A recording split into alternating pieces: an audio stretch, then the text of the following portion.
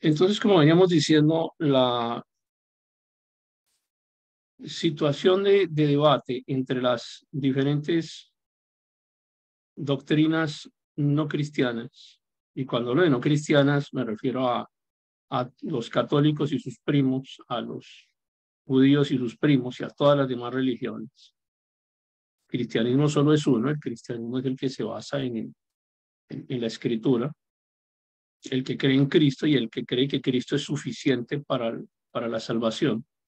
Cuando ustedes intentan eh, entablar una conversación con alguien que no es cristiano, pero que honestamente quiere compartir de su conocimiento y se cuestiona sobre si está equivocado en su religión o no, pues el, primer elemento que debemos compartir realmente, o sea, la norma de conducta frente a un debate de este tipo tiene que ser la sola escritura.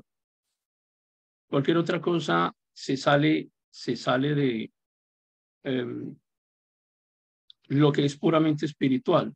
Nosotros no podemos asumir que la palabra de una persona, cualquiera que sea, por título que ostente o por calidad de estudios que ostente o por la razón que sea, ninguna palabra de ninguna persona, ninguna afirmación puede ponerse al nivel de la palabra de Dios. Pensar en que una religión puede recibir unos libros o unos documentos adicionales dentro del canon bíblico, pues eso implica claramente que Dios no es tan perfecto, finalmente no es Dios, porque si Dios fuera Dios, pues no se le hubiese salido de las manos el canon bíblico. De manera que si tenemos que recurrir a otros libros para complementar lo que Dios dice, si tenemos que recurrir a la palabra de una iglesia como tal, o de una congregación, o de una religión, o de un líder religioso para complementar lo que dice la escritura, pues simplemente este Dios, pues realmente no es Dios. Realmente lo que ocurre en este caso, cuando veían ustedes el video eh, que compartimos a través del Telegram, es que lo que eh, se dice es que cualquier religión pues decide adoptar sus propios libros, sus propios documentos, y que se consideran sagrados porque la religión los está considerando sagrados. Desde ese punto de vista, pues toda religión es válida y todo libro que reconozca eh, una religión, pues también es válido y queda, digamos, elevado a la categoría de, de libro inspirado por Dios. Pero es una contradicción en sí mismo esto, porque ¿cómo es posible que una eh, línea religiosa considere que un libro es inspirado por Dios y la otra línea religiosa considere que no. Entonces, finalmente, eh, pues Dios es el que, la palabra de Dios es la que queda en entredicho. Las religiones están estableciendo sus propias doctrinas a través de todos los libros que eh, se le incluyen al, al canon eh, que nosotros como cristianos utilizamos. Y otra de las críticas que nos hacen frecuentemente es que los evangélicos quitaron los libros de la Biblia, mutilaron la Biblia y tienen una Biblia mutilada, una Biblia em, desmembrada porque arrancaron libros de, la, del, canon, del canon reconocido por Dios.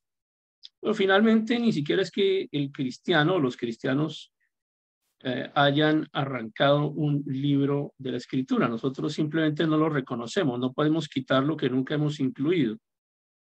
Probablemente fueron sus propios sacerdotes reformadores eh, quienes dejaron de reconocer algunos de esos documentos como válidos. ¿Y, ¿Y cómo se hace eso? Pues simplemente leyendo. Es que no se necesita sino leer. Cuando usted lee la escritura, de comienzo a fin y por eso es tan importante y sigo insistiendo cada vez que tengo la oportunidad, les insisto en lo mismo. Usted tiene que tomarse la tarea de leer la escritura desde la primera hoja hasta la última en orden. No leer primero un capítulo y luego otro, ni, ninguna otra forma. La, única manera que, hay, que sirve es leerlo en orden completo, como cualquier libro. Usted tiene cualquier otro libro en su mano y usted no comienza a leer un pedazo de un, de un capítulo cualquiera y luego se devuelve a otro capítulo. No, usted cualquier libro lo lee en orden. La Biblia tiene que ser leída exactamente de la misma manera y eso le abre usted un panorama importante sobre qué eh, es lo que va en contra de ese mensaje, porque cuando usted lee la escritura completa le da un mensaje transversal y cuando usted lee otro documento es fácil identificar en dónde está la falla doctrinal, pero tiene que haber hecho la lectura completa del documento. Y ustedes veían, siempre nos han dicho, existen siete, siete libros apócrifos. Y les compartí un, un libro en el cual se incluyen mucho más que siete, pero ni siquiera son todos. Hay otros más que no están incluidos allí.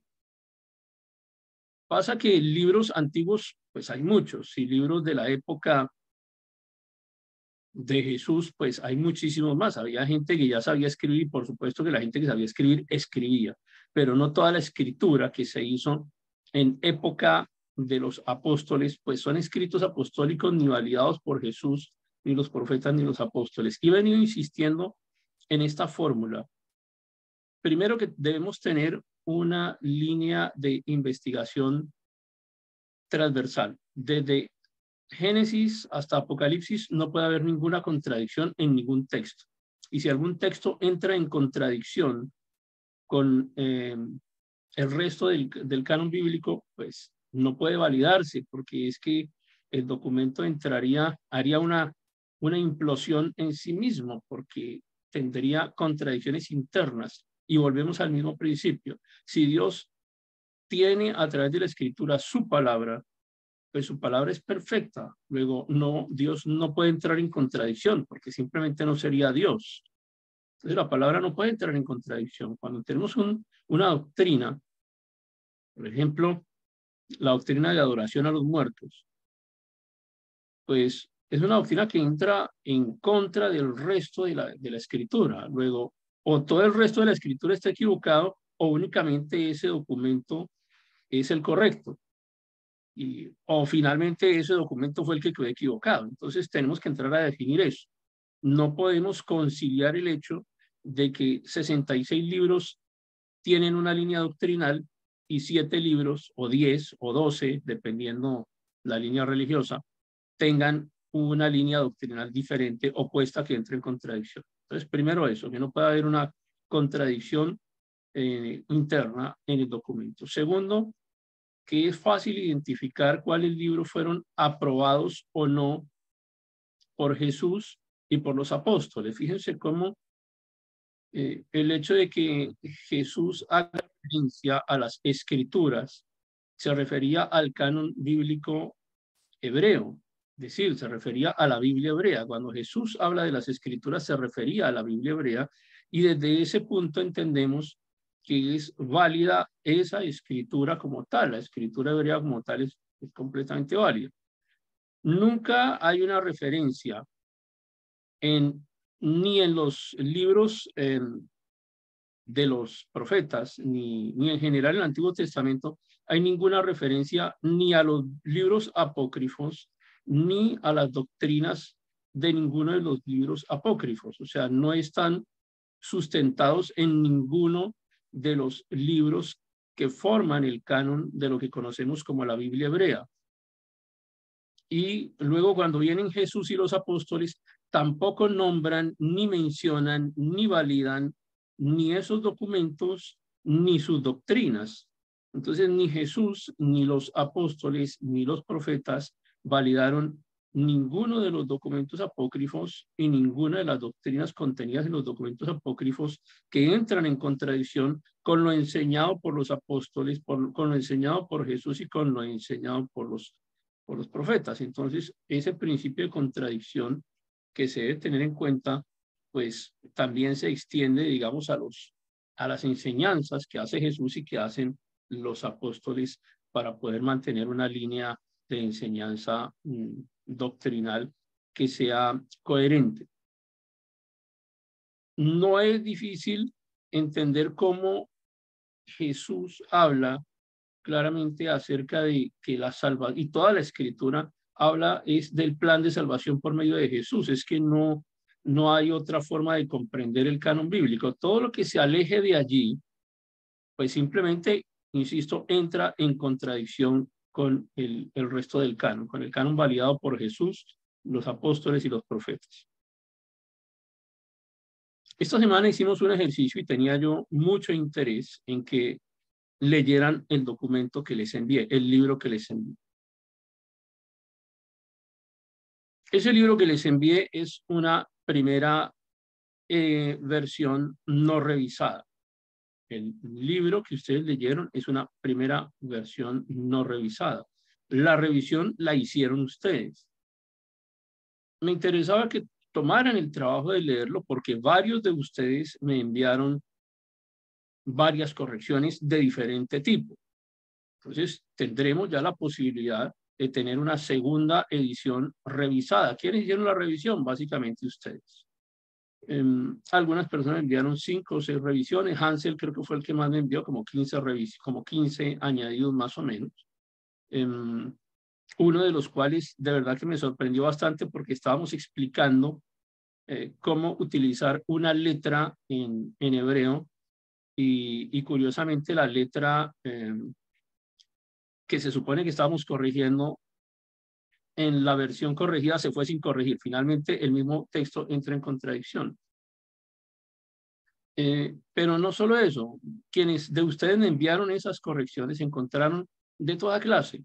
Encontraron, por ejemplo, palabras repetidas, encontraron eh, errores de puntuación, errores de acentuación, palabras que están incorrectamente aplicadas en un contexto, sintaxis equivocada, y bueno, una gran cantidad de, de cosas que ya nos permiten entonces comenzar a trabajar con una edición que nosotros podemos decir ahora tenemos una edición revisada.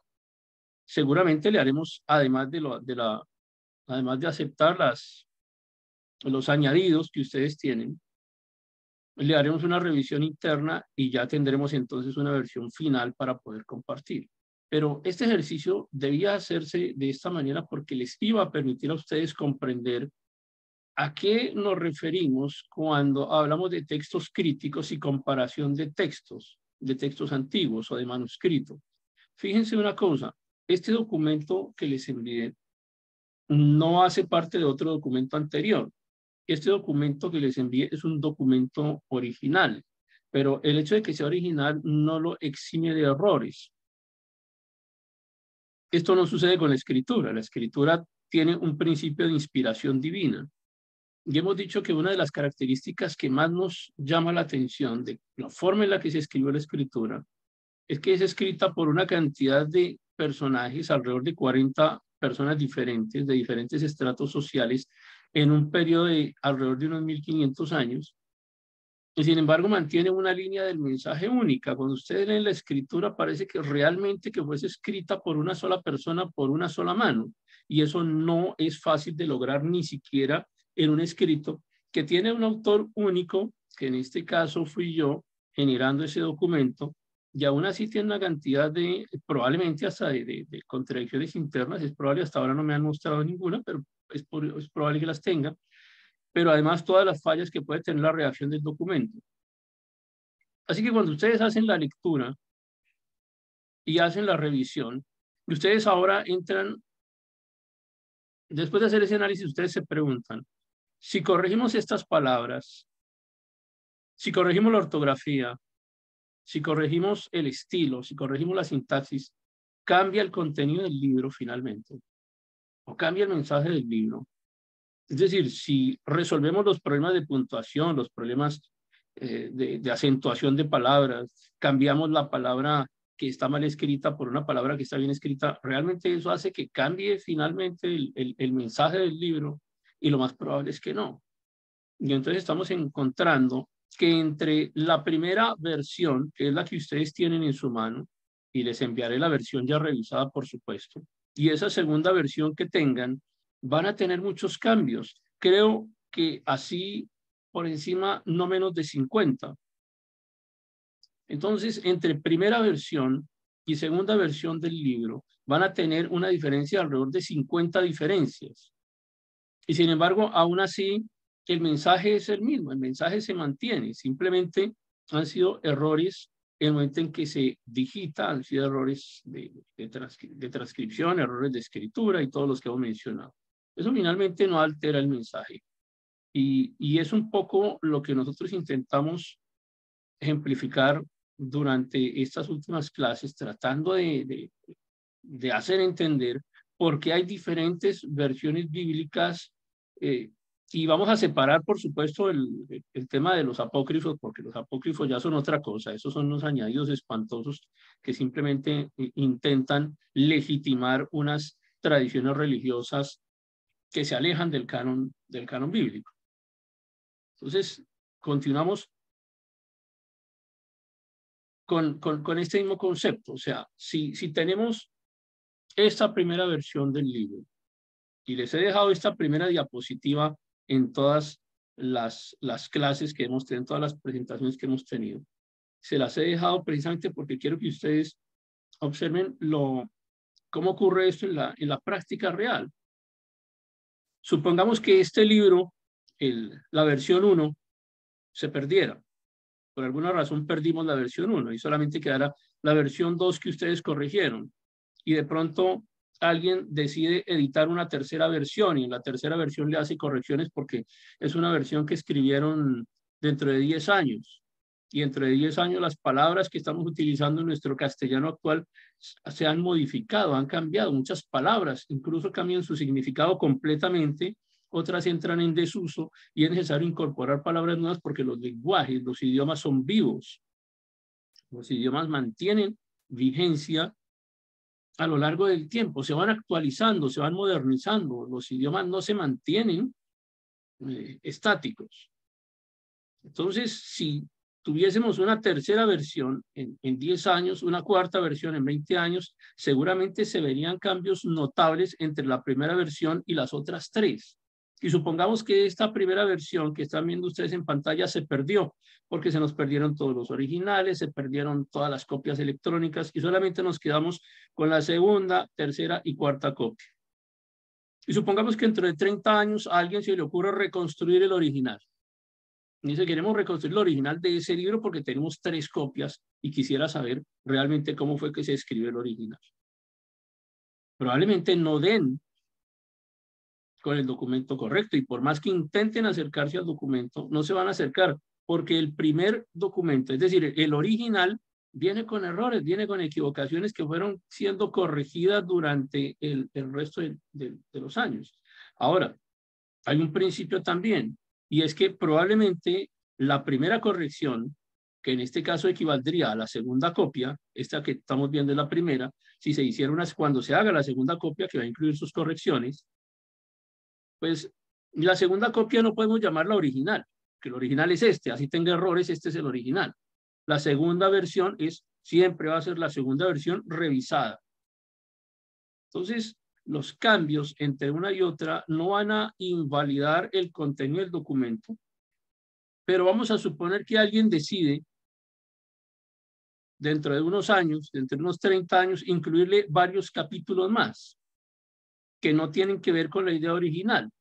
Es al incluir esos varios capítulos más, ahí sí ya vamos a entrar en una contradicción importante porque ya no fue la idea original. Es más, el estilo en que se escribe, las palabras que se usan, eh, el, el, objetivo general del libro, ahí ya va a cambiar. Entonces, por eso vuelvo a insistir, ninguna fuente textual de lo que conocemos hoy como las fuentes bíblicas o los manuscritos bíblicos contiene el texto normativo, es decir, ninguna copia hoy en día de la Biblia contiene lo que pudiésemos denominar como el texto original, porque probablemente ha variado, así sea en una coma, en una tilde, pero si solamente tuviésemos una variación de una coma o de una tilde y no hubiese ninguna otra variación entre el original y la copia que tiene esa variación, pues ya no sería el original, Simplemente esa, esa, esa coma adicional invalida el documento y ya no es exactamente el texto normativo, es que el texto normativo es el original tal y como se produjo. Pero ese documento no lo tenemos y no tenemos cómo compararlo. Entonces tenemos que hablar del estudio crítico de todas las demás fuentes, es decir, de todas las demás copias. Entonces alguien tomará este documento, tomará la versión 2, la versión 3, la versión 4 e intentará reconstruir una versión 5.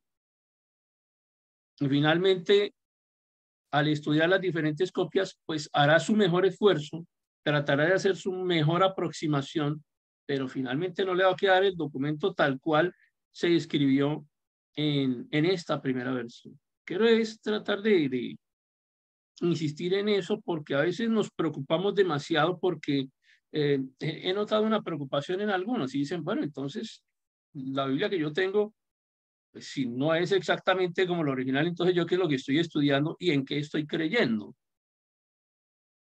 Pero acá lo que estamos viendo es que la cantidad de diferencias que existen entre unas y otras versiones cuando son estudios honestos, estudios que no tienen la intención de alterar la doctrina fundamental de la escritura, pues las diferencias realmente son tan mínimas que no alteran el contenido final del mensaje. Entonces, esas diferentes versiones del libro las llamaríamos variantes textuales. Y esas variantes textuales van a permitir que alguien más adelante intente hacer una comparación entre los diferentes libros y encuentre algo eh, un, estudio eh, final, que un procedimiento, más bien, mediante un procedimiento intente recuperar el, el, documento original. A eso es lo que le llamamos crítica textual. Cuando descargué la grabación de la, de la semana anterior y descargué el chat de la semana anterior, se me quedó una pregunta sin responder y, la vi ya cuando había descargado la grabación y había descargado el chat. Y la pregunta de alguien, no recuerdo quién era, decía, ¿y entonces finalmente qué es un códex? Entonces, eh, pues nos hemos pasado hablando de códex, de códices, de códices, eh, de manuscritos, y finalmente es eso. Entonces, un códex es un manuscrito, un códex o un códice o un manuscrito, finalmente es un, una copia, un rollo del documento eh, que tenemos a disposición para estudiar y para intentar comparar con otros documentos similares. Entonces, un códex es eso, un manuscrito antiguo. Los códex no son solamente de la Biblia. O sea, acá hablamos de códex bíblicos porque solamente nos interesa este tema, pero hay códex de muchísimas otras obras literarias. Entonces, esos códex o manuscritos se van clasificando de acuerdo al lugar en donde fueron encontrados, a la fecha en la que fueron encontrados, a la institución que está trabajando con, con el documento, al nombre de la persona que lo encontró, si es posible. Es decir, hay una clasificación por diferentes factores. Entonces, un códex es eso, un rollo, un códice o un códice, un documento antiguo que regularmente está escrito en pergamino o que regularmente está escrito en papiro y que mm, se ha preservado a veces durante muchísimo tiempo, a veces durante más de mil años, tenemos unos códigos muy antiguos y la idea es intentar validarlos. Entonces voy a tratar de acelerar ahora el proceso, porque la clase que tenemos hoy es un poco extensa, entonces intentaremos hablar ahora de este otro concepto, que es el concepto, un concepto con el cual finalizamos la clase anterior, que es la definición de que son los masoretas. Entonces decíamos, los masoretas son copistas. Porque es que, ¿por qué es necesario hacer copias? Es sencillo, porque el original se deteriora. Y que a pesar de que tenemos algunos códices que han logrado subsistir en el tiempo, pues no es la mayoría de ellos, la mayoría se ha deteriorado. Yo no sé si ustedes no tienen seguramente ustedes tendrán en su biblioteca algunos libros que, que son muy antiguos, que son muy viejos, de pronto de cuando estaban pequeños mm, y, estudiaron allá en su, en su primera escuela, en su primer colegio, y, y, ya el papel se pone un poco amarillo y ya se deteriora y ya se quiebra y se daña. Y pues si estamos hablando de 10, 20 años, ahora ustedes imagínense de 200, 300 años, pues esos documentos se pierden, se dañan. Por eso es necesario hacer copias. Y, le doy otra noticia para los detractores de la copia de los documentos. Es que ¿para qué sacan copias? pues es que todavía no teníamos el mega en donde podemos, podíamos subir los documentos para que los tuviéramos almacenados, ni existían los discos duros, ni, ni los otros medios de almacenamiento actuales. Entonces tocaba hacer copias. Y les cuento también que no existía la imprenta. La nube. Entonces, no existía la nube, entonces no teníamos, no tenían cómo resolverlo. Entonces tenían que hacer copias y las copias, pues les cuento que tampoco habían impresoras y ni teníamos tampoco eh, la imprenta, entonces les tocaba hacer copias a mano y las copias a mano implican fallas en la copia porque tenemos equivocaciones voluntarias o involuntarias. Sin embargo, los masoretas, los masoretas no son tan, son antiguos, pero no tan antiguos como, como podemos llegar a creer. O sea, no son de la época de, de, Moisés ni la época del rey David. No, los masoretas son relativamente recientes. Algunos hablan del siglo V hasta el siglo X, XI, siglo VI hasta el siglo X, XI. Tampoco podemos darle unas definiciones exactas. Yo no puedo decirles es que los masoretas surgieron el primero de enero del siglo VI. O sea, eso es imposible algunas personas de pronto encuentran unas variantes, ¿no? Que es que los masoretas, eh, acá se dijo que eran del siglo VI y son del siglo V, o del siglo V y medio, o sea, no se, no se compliquen con eso, porque es que tampoco podemos darles unas definiciones tan precisas de algunos conceptos de la historia, ojalá pudiésemos, pero no hay forma de hacerlo. Por eso se establecen estos rangos. Entonces, si ustedes se fijan, los masoretas están desde el siglo VI después de Cristo hasta el siglo XI más o menos después de Cristo. Y aún muchos hoy se conservan, digamos que no específicamente con el nombre de masoretas, pero la tarea se sigue haciendo o la actividad se sigue haciendo. Es decir, la actividad de las copias de ciertos documentos. Por eso ustedes van a encontrar que para poder fabricar un códex podían tardarse años e incluso no se escribían a una sola mano. Existían varias personas, varios copistas o varios masoretas a los que se les encargaba la tarea. Eh, y, por supuesto que entre uno y otro pueden presentarse eh, diferencias en, en cuanto a la transmisión del texto de la copia anterior. Claro que ellos eran expertos en el tema, eran expertos en su, en su idioma y el objetivo que tenían era transmitir o transferir exactamente el, el, el documento. Pero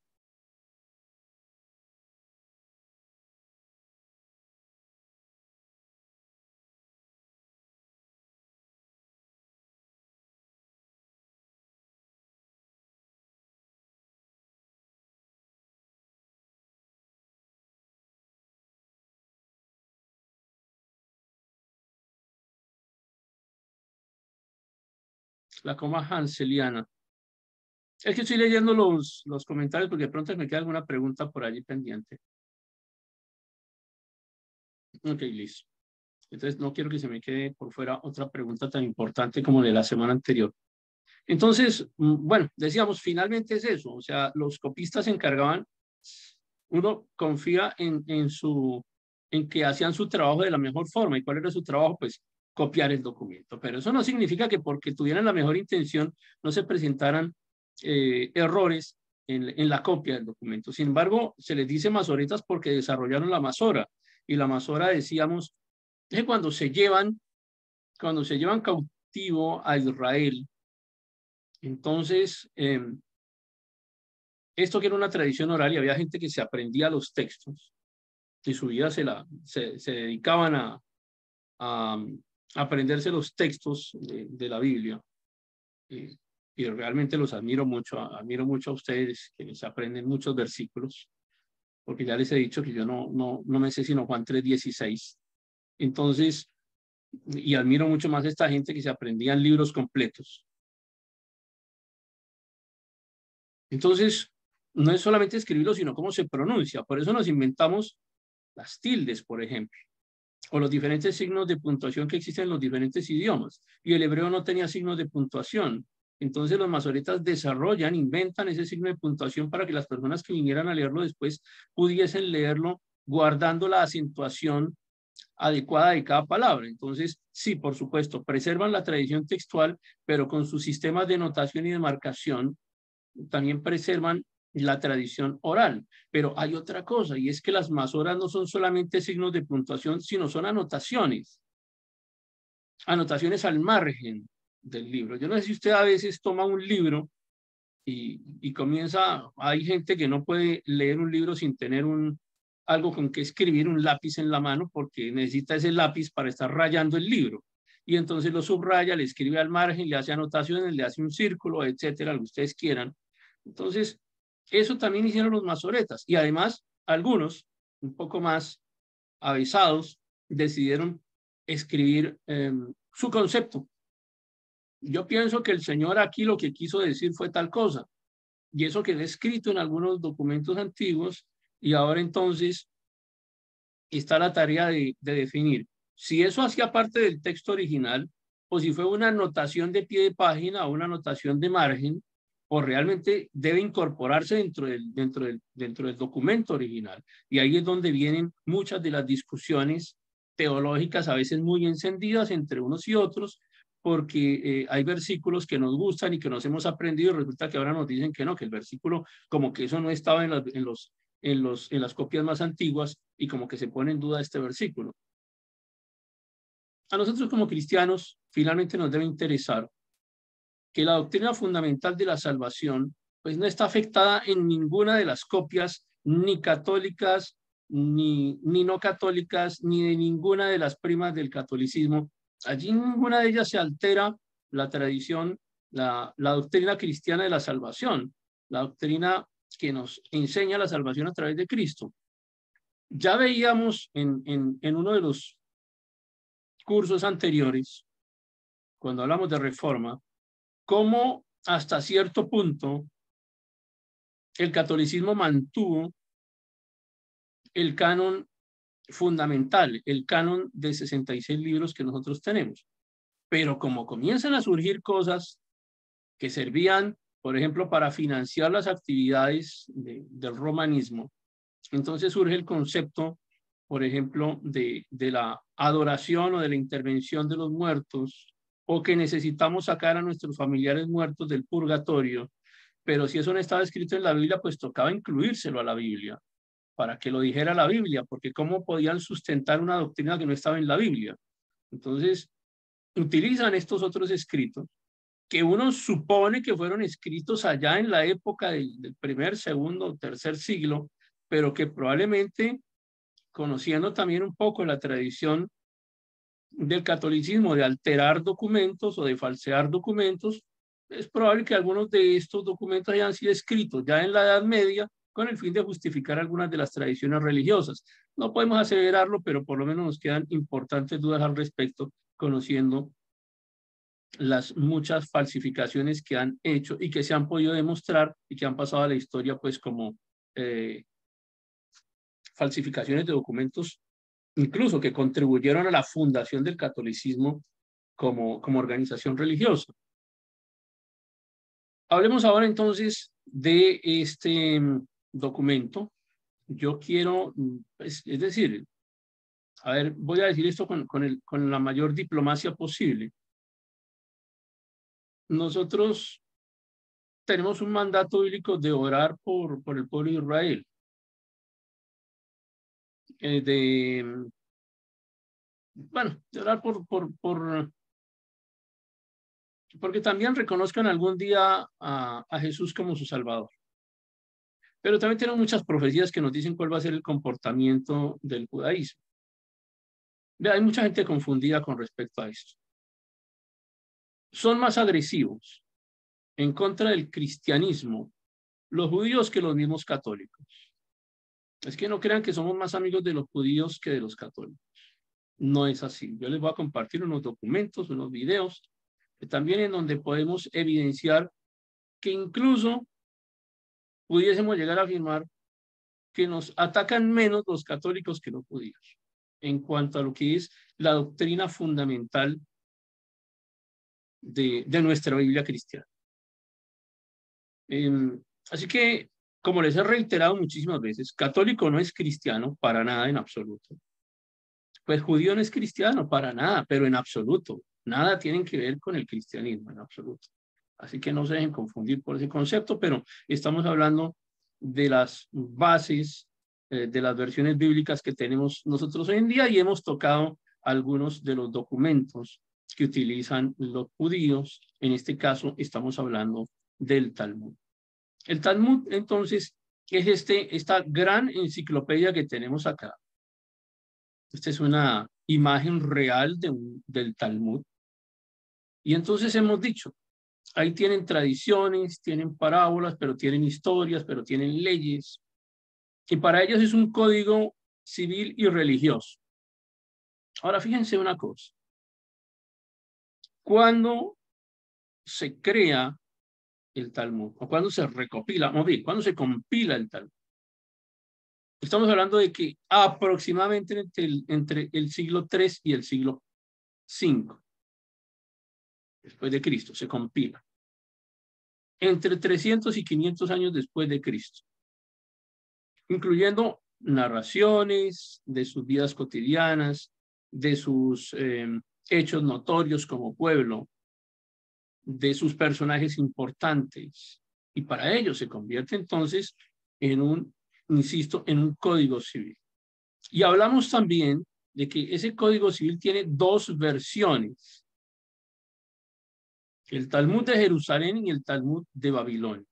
¿Por qué hicieron ellos esto? Que pensaron, se nos van a olvidar las leyes, se nos van a olvidar nuestras nuestros textos fundacionales, la gente ya no se quiere aprender los textos bíblicos. Los muchachos de nuestra época, pensaron ellos, ahora que viven, por ejemplo, en Babilonia, pues están aprendiendo un nuevo idioma, una nueva cultura y se está olvidando nuestra tradición. Entonces ellos dedicaron tiempo para crear esta recopilación de una gran cantidad de textos que para ellos el Talmud es considerado sagrado, completo, así como viene, con tradiciones, con las eh, narraciones, con los dichos, con las costumbres. Para ellos el Talmud tiene un carácter de sagrado, pero no solo uno, los dos, tanto el Talmud de Jerusalén como el Talmud de Babilonia, son considerados sagrados por los judíos. Si hay algo que Cristo criticó a los judíos fue la preservación de tradiciones religiosas. Y justamente fue la preservación de tradiciones religiosas lo que hizo, lo que hizo que Jesús terminara enemistado con los líderes religiosos judíos, precisamente porque el judío se interesa mucho en preservar su tradición religiosa. Para ellos la tradición es fundamental, hasta el punto de que la tradición adquiere carácter de ley. Ahora, de los dos Talmud, el de Babilonia es el más completo o más extenso. Tiene más detalle que el de Jerusalén. Pero eso no implica con que sea más santo o tenga más autoridad. No, los dos se consideran documentos sagrados, tienen muchas cosas que se parecen, pero tienen cosas que no se parecen o tienen eh, documentos o, o narraciones que no se comparten. Ahora, los Talmud constan de dos partes principales. Presta atención a esto porque una cosa es que tengamos dos versiones de Talmud Insisto, tenemos dos versiones de Talmud, el Talmud de Jerusalén y el Talmud de Babilonia. Pero ellos en sí mismos, cada uno de ellos, tiene dos componentes principales. La Mishnah y la Gemara. La Mishnah, leyes orales. La Gemara, una ampliación de esas leyes orales. Es decir, la Mishnah es la colección básica de las leyes fundamentales del Talmud. Y la Gemara es esa explicación, la explicación. Incluye entonces las enseñanzas. Vamos a suponer que eh, los en una congregación cualquiera, la congregación a la que ustedes asisten, tenemos la Biblia, la Biblia cristiana, y alguien decide escribir, lleva una, una libreta de anotaciones y escribe el mensaje que está dando el pastor o la pastora. Escribe el mensaje en su agenda, en su libreta. Y así hace cada domingo, cada miércoles o cada vez que va al servicio. Y finalmente completa varias agendas con el mensaje. Ahora, a alguien se le ocurre, bueno, pues este mensaje, estos mensajes, esto, lo que está escrito en estas agendas, explica lo que está enseñándose en la Biblia. Entonces, unamos todo eso. Entonces, tomamos la Biblia como tal y le pegamos y armamos un solo libro con todas las enseñanzas que ha dado el pastor o los pastores durante mucho tiempo. Y armamos un solo libro. Entonces, de la unión de la Biblia como tal y de todas las enseñanzas que hemos venido viendo que dieron los pastores, entonces surge un gran volumen como una enciclopedia similar al texto que tenemos acá, que insisto es un texto sagrado para los judíos.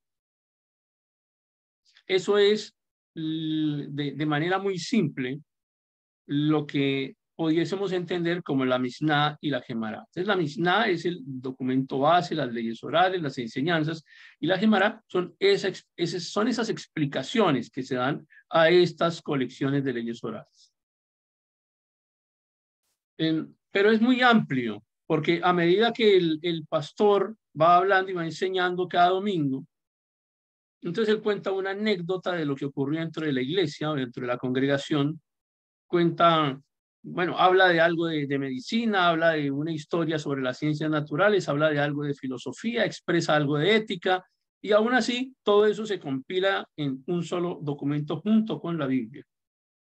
De esta manera quiero tratar de explicar muy, de, manera muy simple lo que es el Talmud y, em, digamos, sus dos grandes componentes, que la Mishnah y la Gemara.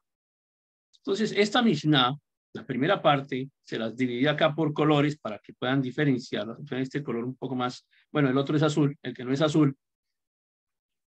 Entonces, ah, vamos a explicar un poquito en qué consiste la Mishnah. La Mishnah tiene seis órdenes.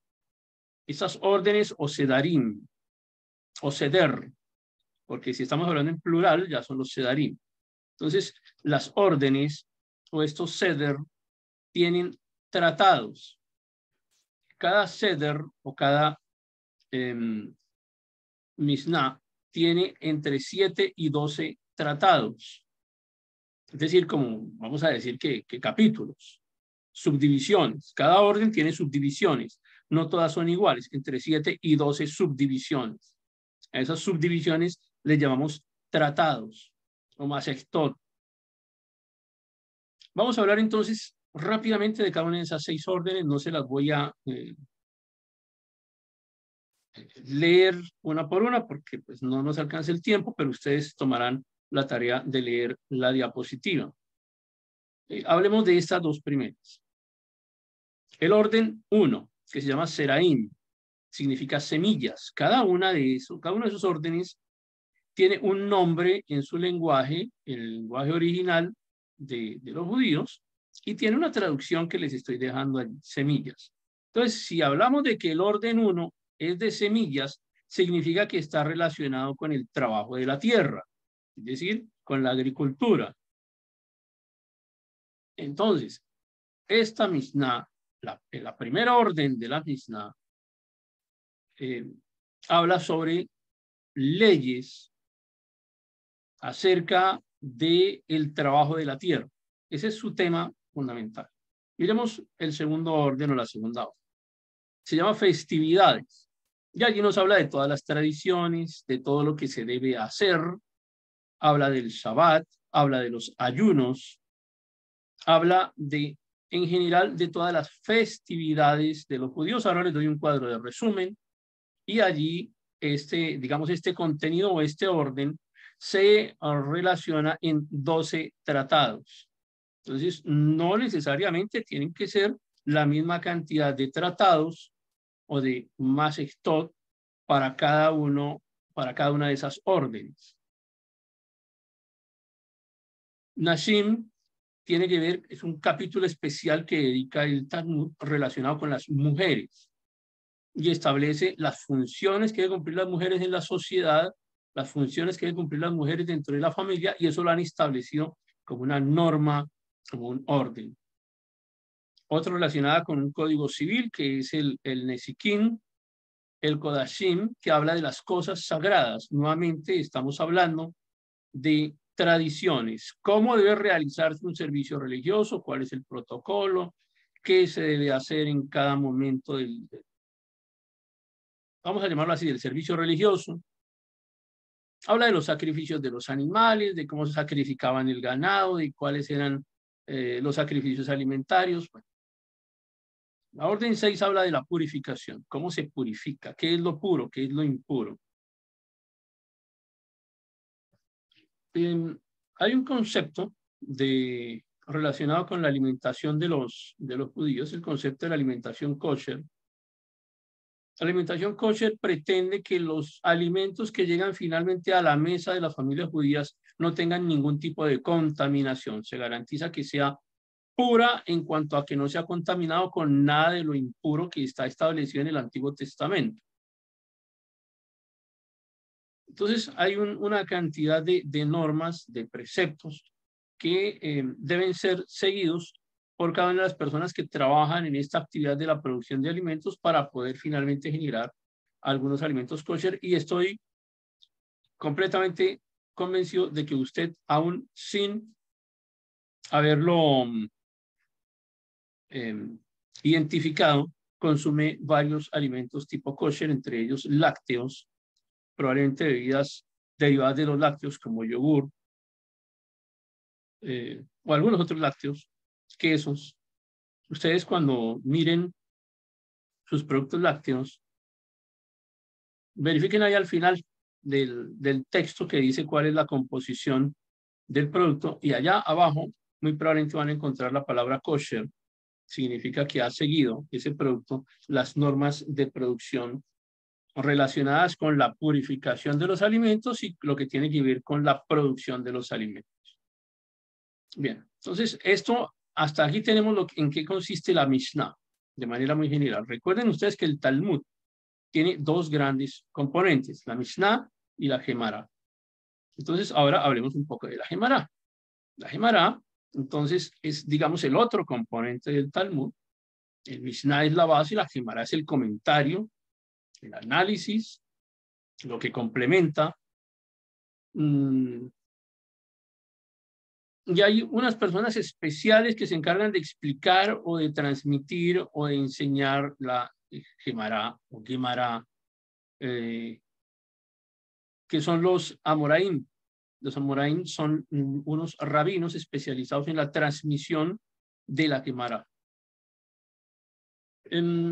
También la encuentran ustedes principalmente en, en idioma arameo, en, digamos, en los documentos más antiguos los encontré en arameo, pero hay dos clases de arameo, un arameo occidental y un arameo babilónico oriental. Entonces, eh, depende la, la versión de Talmud que usted esté estudiando, entonces van a encontrar así también un ajuste a la lengua que, en la cual es transmitido, en la cual es enseñado les he compartido dos imágenes. La primera de ellas es esta, en la que intentamos explicar de forma general para que usted tome unos minutos, después cuando tenga ya su, diapositiva, y comprenda la relación del Talmud con los documentos que son importantes para el judaísmo y para el cristianismo, por supuesto. Como, como estamos dentro de una perspectiva de los documentos judíos, por eso no mencioné cristianismo. Entonces, ¿cuáles libros son importantes para el judaísmo? Entonces tenemos la Tanakh o Tanakh con tres grandes grupos de libros que ahora les voy a detallar en la siguiente diapositiva. Entonces, digamos que esta parte la voy a explicar enseguida. Y también entonces van a encontrar acá, al lado izquierdo de la diapositiva, la diferencia entre el Midrash, la Gemara o Gemara y la Mishnah. Y también un resumen sobre las secciones de la Mishnah en cada uno de los órdenes. Entonces, el cuadro les permite comprender de forma muy simplificada en qué consiste el Talmud. Y, y, realmente la imagen, si usted quiere comprender la literatura judía, pues por lo menos lo que tiene que ver con el Talmud le va a ser muy útil y seguramente va a poder comprender un poco mejor no solamente la, la tradición religiosa, sino las tradiciones culturales eh, judías, pues a partir de este, de este, de este resumen. Y este que realmente intenté reducirlo eh,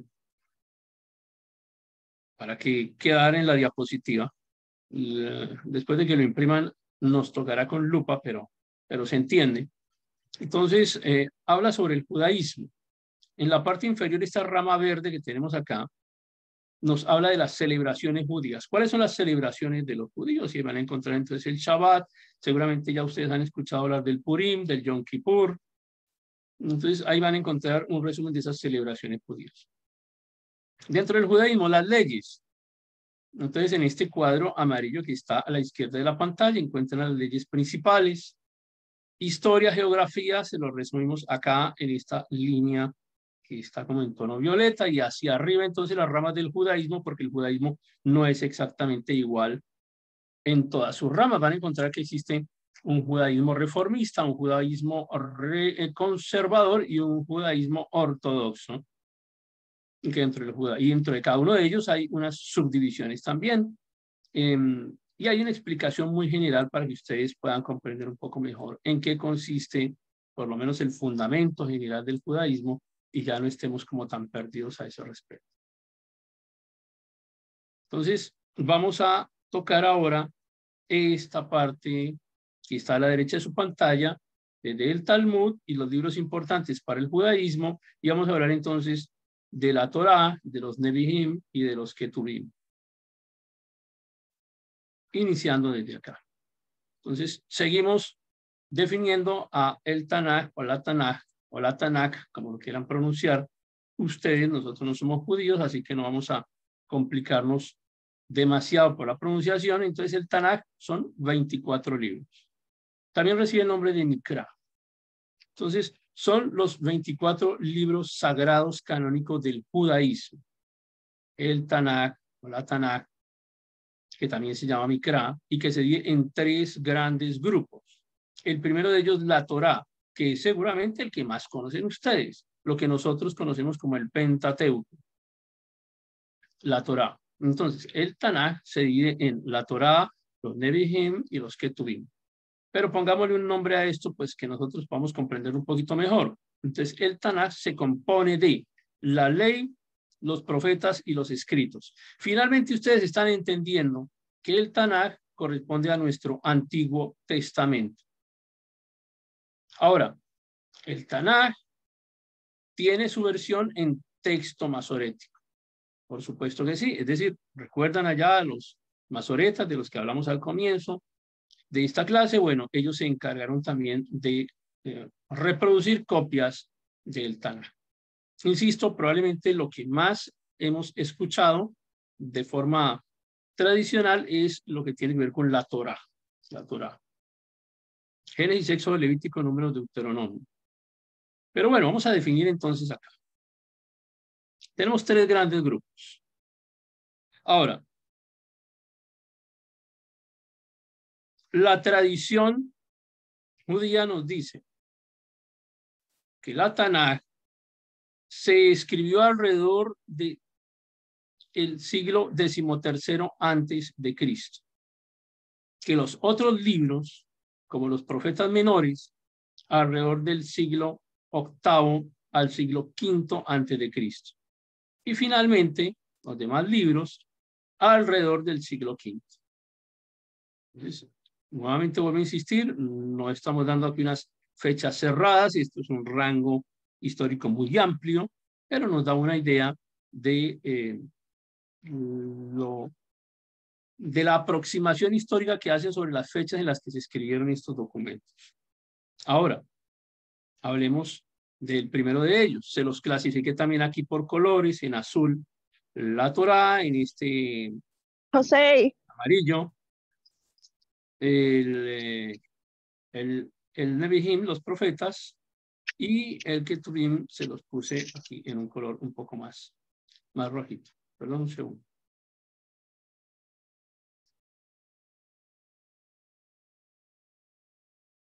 Bien. Entonces, vamos con la Torah. O el Pentateuco. Génesis, Éxodo, Levítico, Número, Deuteronomio. Bueno, pues nosotros lo conocemos como Génesis. Ellos lo conocen como el comienzo. El Éxodo lo conocen como los nombres. Levítico y lo llamó o lo llamó números. Se conoce como en el desierto, Deuteronomio, como palabras o enseñanzas. Esta Torah es el documento fundamental del judaísmo. No que los demás no tengan un carácter eh, sagrado, sino que dentro de lo sagrado, la Torah es el texto central. Es la revelación de Dios a Moisés, la revelación que le da allá en el monte Sinaí. Es la fuente fundamental de su derecho, la fuente fundamental de su religión, digamos que si hay un documento que todas las comunidades judías comparten en cualquier parte del mundo en donde se encuentren, así no compartan las diferentes versiones o los diferentes escritos del Talmud por las diferencias ideológicas que puedan tener, bueno, nadie se mete o nadie cuestiona la Torah. La Torah es, insisto, el texto central, el texto fundamental del judaísmo. La segunda parte, entonces, la conocemos como los, como los Nebihim, que son los profetas, que son exactamente los mismos documentos que nosotros tenemos dentro de nuestra Biblia cristiana, dentro de nuestro Antiguo Testamento, son los mismos documentos. Yo por ahí estuve viendo una, una versión,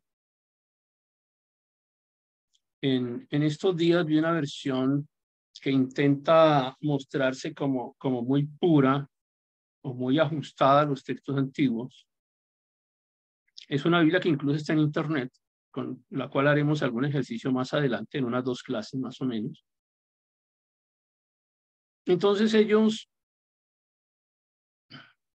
probablemente para guardar el recurso estilístico no separan, por ejemplo, reyes ni, ni crónicas, sino los tienen todos en un solo libro y les dan pues, sus nombres en hebreo. Yo quiero ser claro con ustedes. Como lo hemos dicho desde la primera sesión, la Biblia es el documento bestseller de todos los tiempos, el libro bestseller de todos los tiempos. Es el libro con más reimpresiones en toda la historia de la humanidad. No hay ninguno que se le acerque ni siquiera de lejos. Es el libro más famoso que existe y el que más se imprime. Y estamos en una economía de mercado. Es decir, que para muchos la Biblia es un negocio. Y es un gran negocio, muy lucrativo porque es un libro que sí o sí se va a vender, este año se va a vender, el año siguiente se va a vender, o sea, no hay duda de que se va a vender. Acá no hay duda de que se va a vender la Biblia. Puede salir algún libro cualquiera de cualquier escritor del tema que sea y a uno le quedan dudas de cuántos libros se van a vender. Si un libro se vende en 2.000 unidades, eso ya está, estamos hablando de un éxito cualquier libro, del que vendamos 2.000 unidades, estamos hablando de un éxito. 2.000 libros en físico. De la Biblia estamos hablando de que cada año se, se, se imprimen y se venden millones.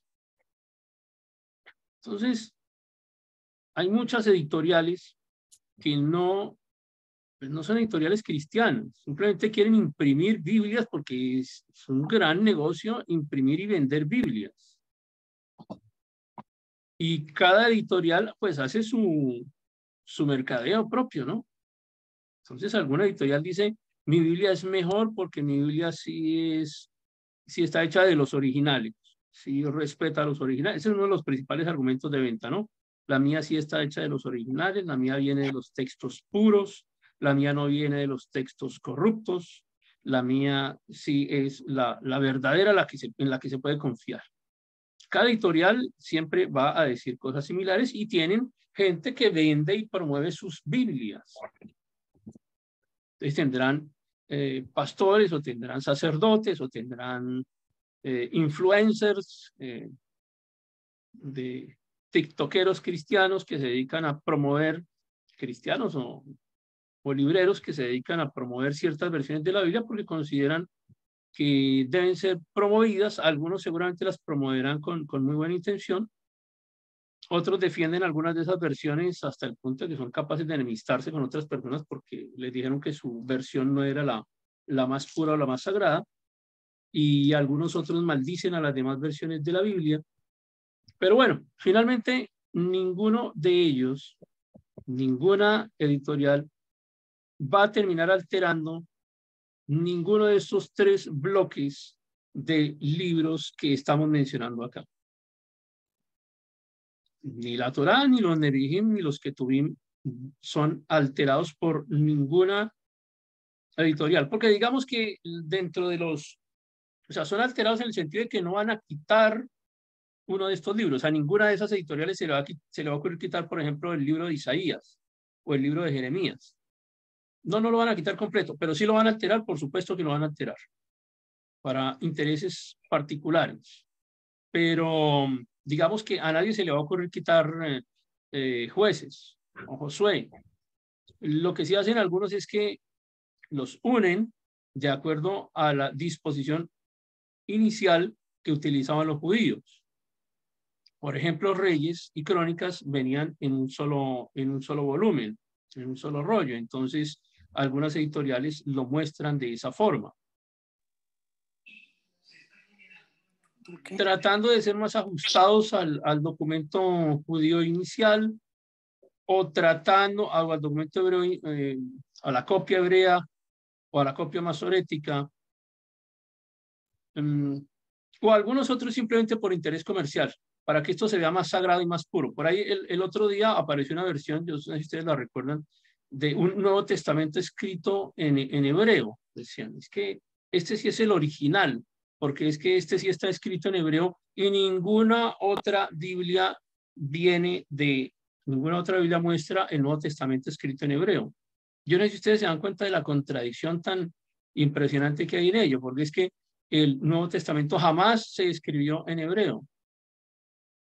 Um, se escribió en griego, porque era el idioma dominante de la época. Entonces, hay alguna editorial que dice que su versión sí es la original, sí es la pura, porque es la que tiene el Nuevo Testamento en hebreo, pero es que el Nuevo Testamento jamás se escribió en hebreo. O sea, no, no hay forma de que eso ocurra, pero hay gente que cree que sí que es el Nuevo Testamento en hebreo. Em, lo que nosotros tenemos hoy en nuestras Biblias realmente es esto. Tenemos esta Torah, la tenemos tal cual, tenemos los Nebihim y también tenemos los Ketuvim, que ellos le llaman los escritos. Entonces, digamos que son estos documentos que son más como de sabiduría, pero tienen un componente histórico. Y, y allá aparece Daniel, aparece Edras, aparecen Nehemías, aparecen las crónicas, aparecen los salmos, los proverbios, etc. Lo que ustedes encuentran ahí y que complementa todo el canon de nuestro Antiguo Testamento. Entonces, el canon judío, el canon masorético, es nuestro canon cristiano, el canon de la Biblia cristiana. No estoy hablando del canon, el canon de la religión católica ni de ninguna de sus variantes. El canon de el cristianismo es el mismo canon judío con respecto al Antiguo Testamento.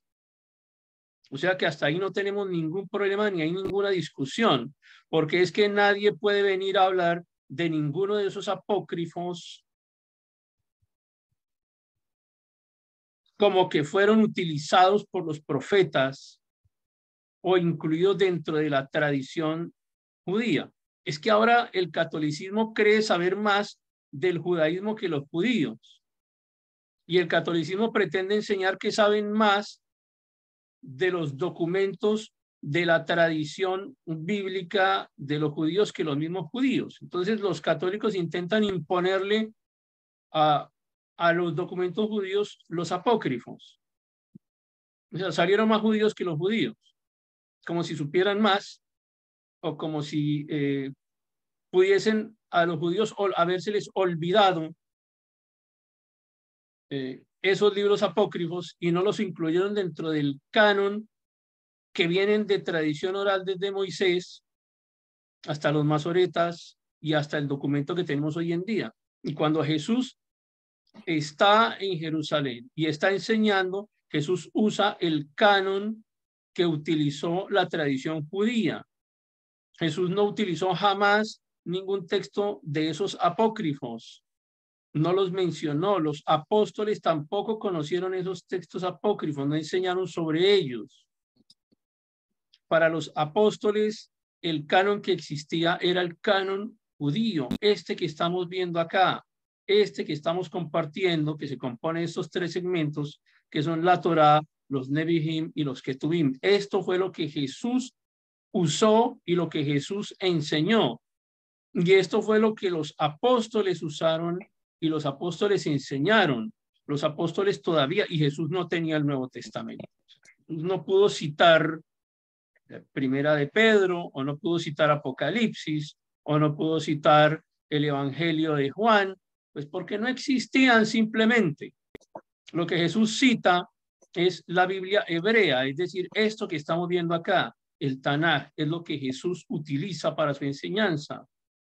Es lo que los apóstoles utilizan para su enseñanza. Jesús jamás usó ningún documento de los apócrifos.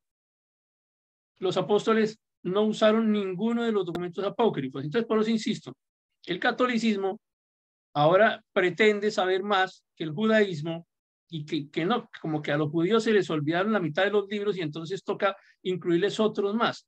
Es que fíjense que los apócrifos se relacionan principalmente es con el Antiguo Testamento, porque es que allí es donde logran generar las divergencias doctrinales que justifican su accionar religioso. Porque la religión católica, si se sometiera a lo que dice el Antiguo Testamento, pues simplemente dejaría de existir como tal o tendría que transformarse como les ocurrió en la Edad Media cuando ocurre el, el, movimiento de la Reforma. Porque el movimiento de la Reforma finalmente son monjes, son curas, son sacerdotes católicos que se dan cuenta que lo que están enseñando está equivocado, que esto está mal, y lo que hacen es conscientemente regresar al documento que utilizaban los judíos y a leerlo como leían, lo leían los judíos y a interpretarlo como lo venían interpretando los judíos, ahora desde una perspectiva cristiana.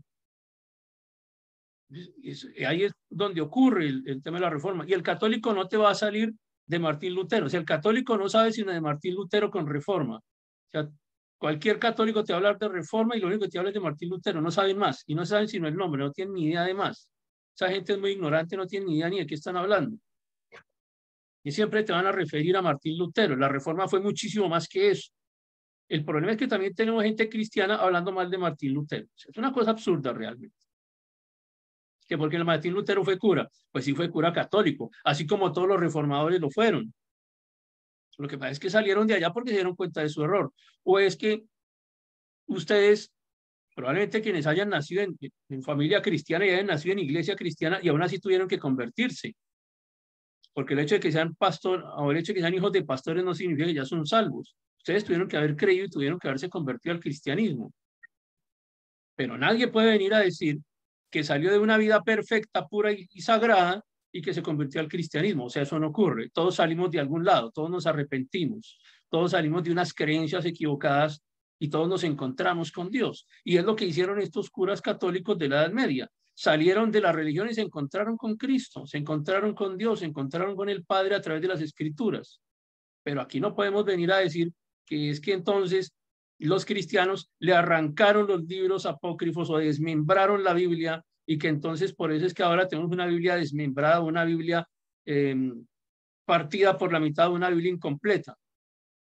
Porque es que el, Antiguo Testamento, el Antiguo Testamento viene desde la tradición judía y lo que nosotros utilizamos actualmente son los mismos libros y los mismos documentos que utilizaban los judíos de aquella época, los mismos que usó Jesús, los mismos que usaron los apóstoles, es tal y como nos ha llegado a nosotros a través de la tradición oral y escrita y tenemos que agradecérselo, por supuesto, a los masoretas. Ahora, que se hayan equivocado entre una copia y otra, pues ahí sí que hacemos, o sea, todos nos equivocamos escribiendo cosas y ellos no estaban exentos de equivocarse, escribiendo mal una palabra, escribiendo mal un, concepto. Algunos se atrevieron incluso hasta a añadir textos a los márgenes de los, de los textos masoréticos. ¿Y saben qué pasó peor todavía aún? Es, es, es, digamos, es un poco más lamentable el hecho de que los masoretas una vez tuvieron su documento, que ya dijeron, este es el documento base, este es el documento que hemos compilado y este es el documento que nosotros queremos transmitir de aquí en adelante. Los mismos masoretas se encargaron de destruir los documentos anteriores, o sea, los que les sirvieron de base para crear el texto masorético de los mismos masoretas para tratar de que se evitaran confusiones, destruyeron los textos masoréticos. Por eso hoy hablamos de textos premasoréticos. Hay textos premasoréticos, porque aunque los masoretas intentaron destruir todo lo anterior para que la gente no se confundiera, sino que utilizara como fuente base documental el texto masorético, pues algunos de esos textos premasoréticos sobrevivieron y nos ha permitido compartir, o más bien, comparar la información y entender que los textos premasoréticos coinciden con, el, con los textos masoréticos, pero sabemos que son premasoréticos básicamente por, el, eh, por, por, la, por la datación que se hace de los documentos a través de los diferentes medios que hemos venido mencionando. Jaime. Buenas noches, profesor. ¿Cómo está? Dios le bendiga. Solo quería tocar esta pregunta antes que me olvide. Una vez me dijeron que la Septuaginta griega, la, como dicen, ¿no? la original, que siempre hacen ellos referencia, sí tenía los textos apócrifos que están incluidos en las iglesias católicas. ¿Eso es cierto? Gracias, Jaime, por la pregunta, porque además es una pregunta bien interesante, porque es que así como de la versión Reina Valera, por ejemplo, la que usamos en español, hay varias versiones, ¿cierto?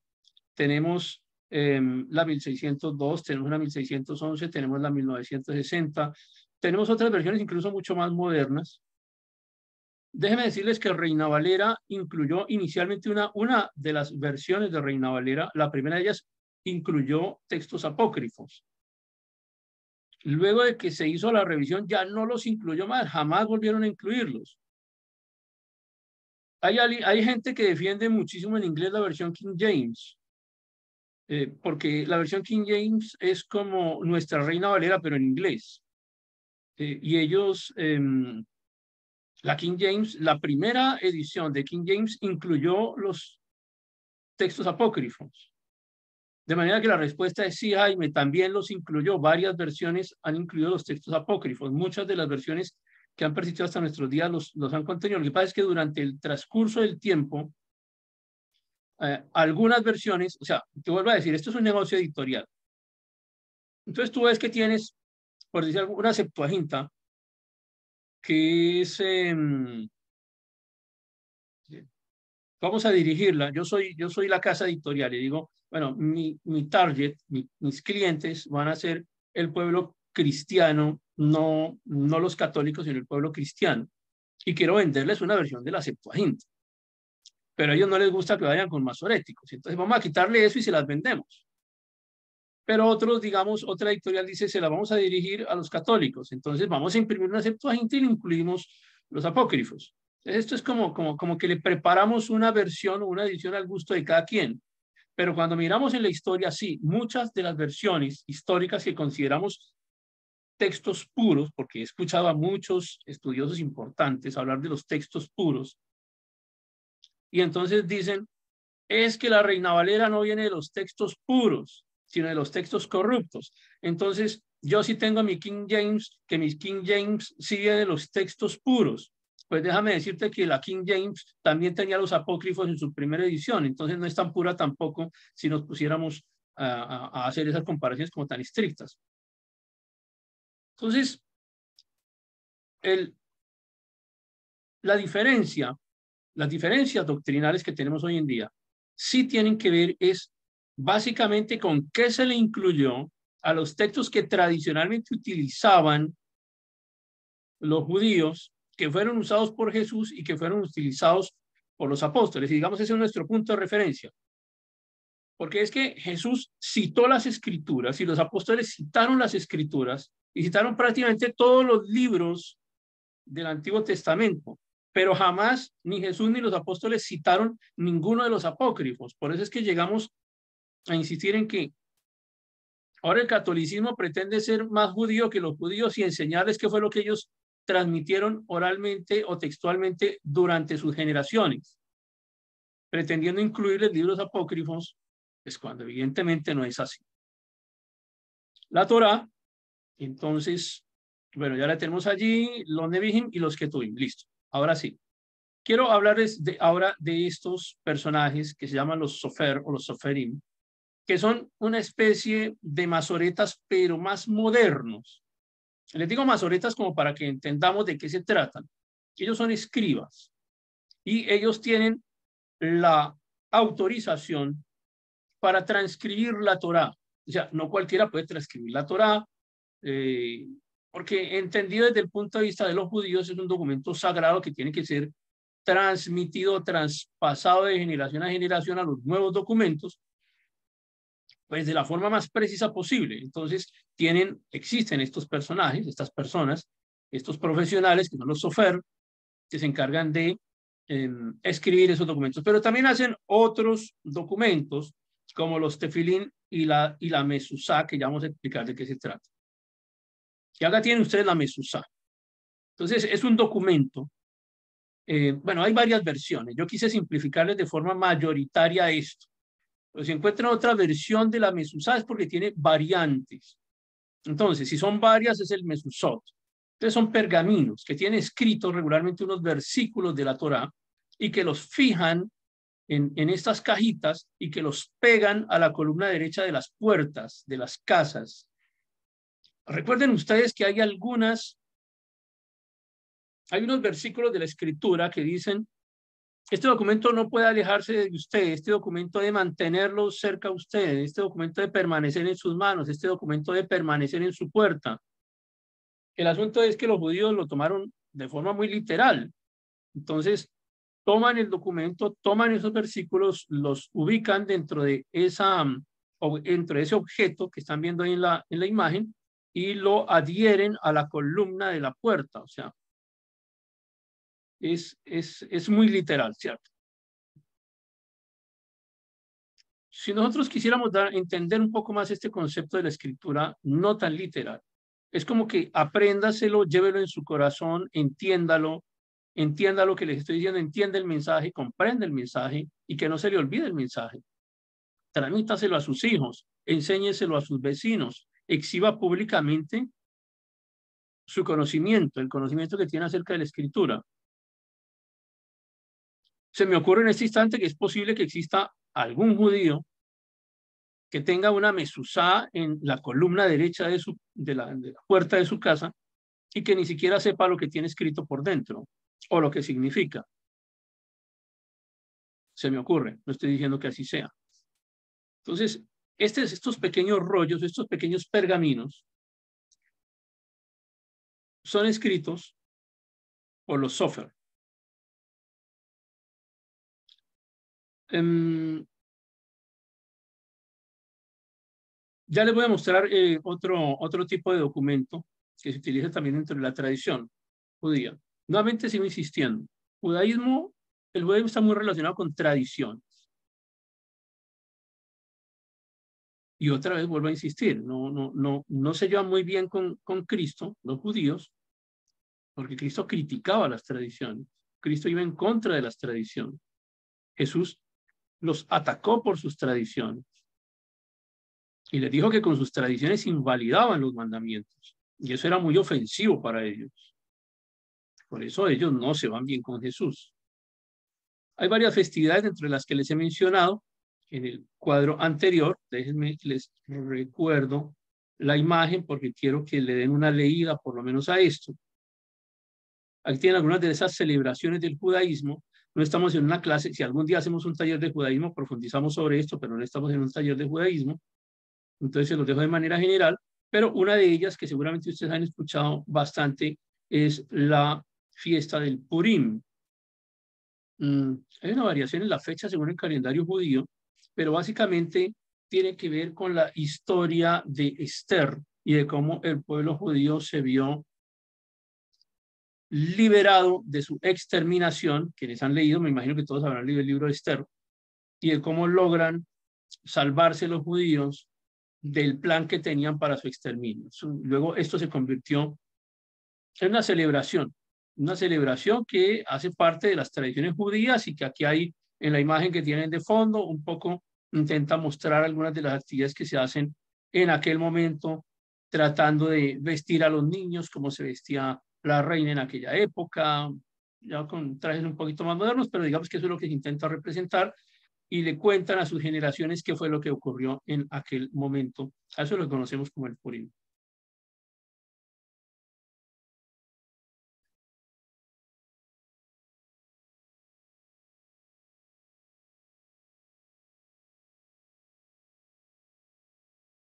Bien, entonces, seguimos con tradiciones.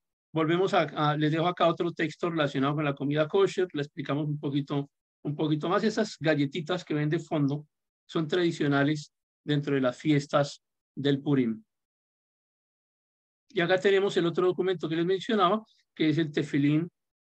A ellos no les gusta usar el, el término filacteria, mm, prefieren utilizar el término tefilín, pero les dejo el término filacteria porque es como algunas personas lo conocen. Entonces, pues digamos para que no se preste para confusión. Observen la correa. Es una correa que se utiliza regularmente en el brazo izquierdo, pero si la persona es zurda, se puede utilizar en el brazo derecho. Y tiene esta cajita. En la cajita también tiene unos eh, textos de, de, la Biblia, tiene unos, em, unos versículos. Para ellos la palabra filacteria tiene que ver más como con, con amuleto y ellos consideran pues que un amuleto es idolatría de manera que por eso no les gusta mucho la palabra filacteria, pero es la palabra tefilín. Igual de todas maneras lo usan de forma tradicional. Y simplemente como complemento, es una especie de paréntesis acá en nuestro, en nuestro taller. Les he dejado unos datos relacionados con el traje, con, el vestuario la vestimenta que utilizan algunos de los varones judíos religiosos, eh, especialmente el uso de los flecos, estos colgantes que tiene eh, la vestimenta, que tienen también, eso no, la cantidad de nudos que tienen tiene un significado, la cantidad de hilos que se utilizan, por ejemplo, se utilizan 613 hilos en esto que llamamos los tzitzit del talit, que el talit es el traje como tal. Los tzitzit son los, los, em, los nudos y hay 613 hilos en ellos porque hay 613 mandamientos de la Torá. Entonces, como ven ustedes, hay mucho significado también con respecto al, al, al, tipo de traje que utiliza y la forma como se utiliza. Si cubre la cabeza, si no cubre la cabeza, en qué momento debe hacerse, el simbolismo es muy tradicional. Observen los colores, los tonos que se utilizan, que también están relacionados con algunos pasajes del Antiguo Testamento. Se los dejo como detalle para que lo lean también. Y aquí tienen un resumen, digamos, de los principales elementos que utilizan dentro de, las, dentro de la tradición religiosa judía. Sigo hablando de tradición. El judaísmo, el judaísmo es tradición. El judaísmo, por supuesto, que es que es em, la Torah como elemento fundamental, pero el judaísmo es tradición. Los cristianos judaizantes lo que hacen es aprender tradiciones, seguir tradiciones, seguir dogmas, seguir vestuarios. Bueno, nos devolvemos hasta acá, hacemos, cerramos ese paréntesis y continuamos acá entonces con lo que vamos a llamar como la primera versión escrita del Antiguo Testamento, que es lo que vamos a conocer como la Biblia hebrea. Entonces, como estamos hablando de este taller de versiones bíblicas y no hemos tocado para nada todavía el Nuevo Testamento, en todo lo que llevamos de estas tres semanas hasta ahora, no hemos hablado de nada del Nuevo Testamento, solamente hemos hablado del Antiguo Testamento. La Biblia hebrea es el Antiguo Testamento. Entonces nosotros podemos decir que la primera versión del Antiguo Testamento, de nuestro Antiguo Testamento cristiano, pues básicamente es la Biblia hebrea. Sus libros son iguales a los nuestros. Se considera que se escribieron entre alrededor de mil, mil quinientos años, ya que hay unas fechas aproximadas que, que les dejo en, en este recuadro en color azul. Y ahora sí vamos a entrar con el tema de la clase de hoy, que es la crítica textual. Pero ya estamos muy avanzados aquí, así que no, no nos vamos a demorar demasiado, porque digamos que con las preguntas y con lo que hemos trabajado anteriormente eh, en, el, grupo de Telegram y todo lo que hemos hecho anteriormente, pues nos ayuda un poco a, a comprender mejor este concepto. Crítica textual, y la crítica textual tiene muchos enemigos, especialmente entre los pastores.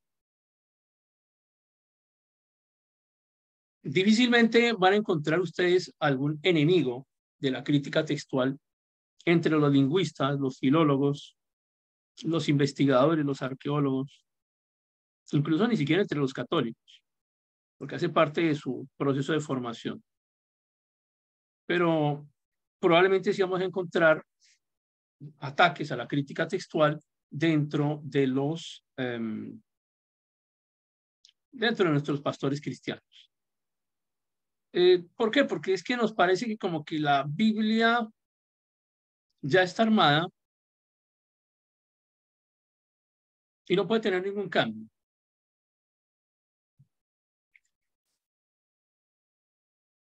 Permítame un momento acá, porque yo quiero hacer unas precisiones.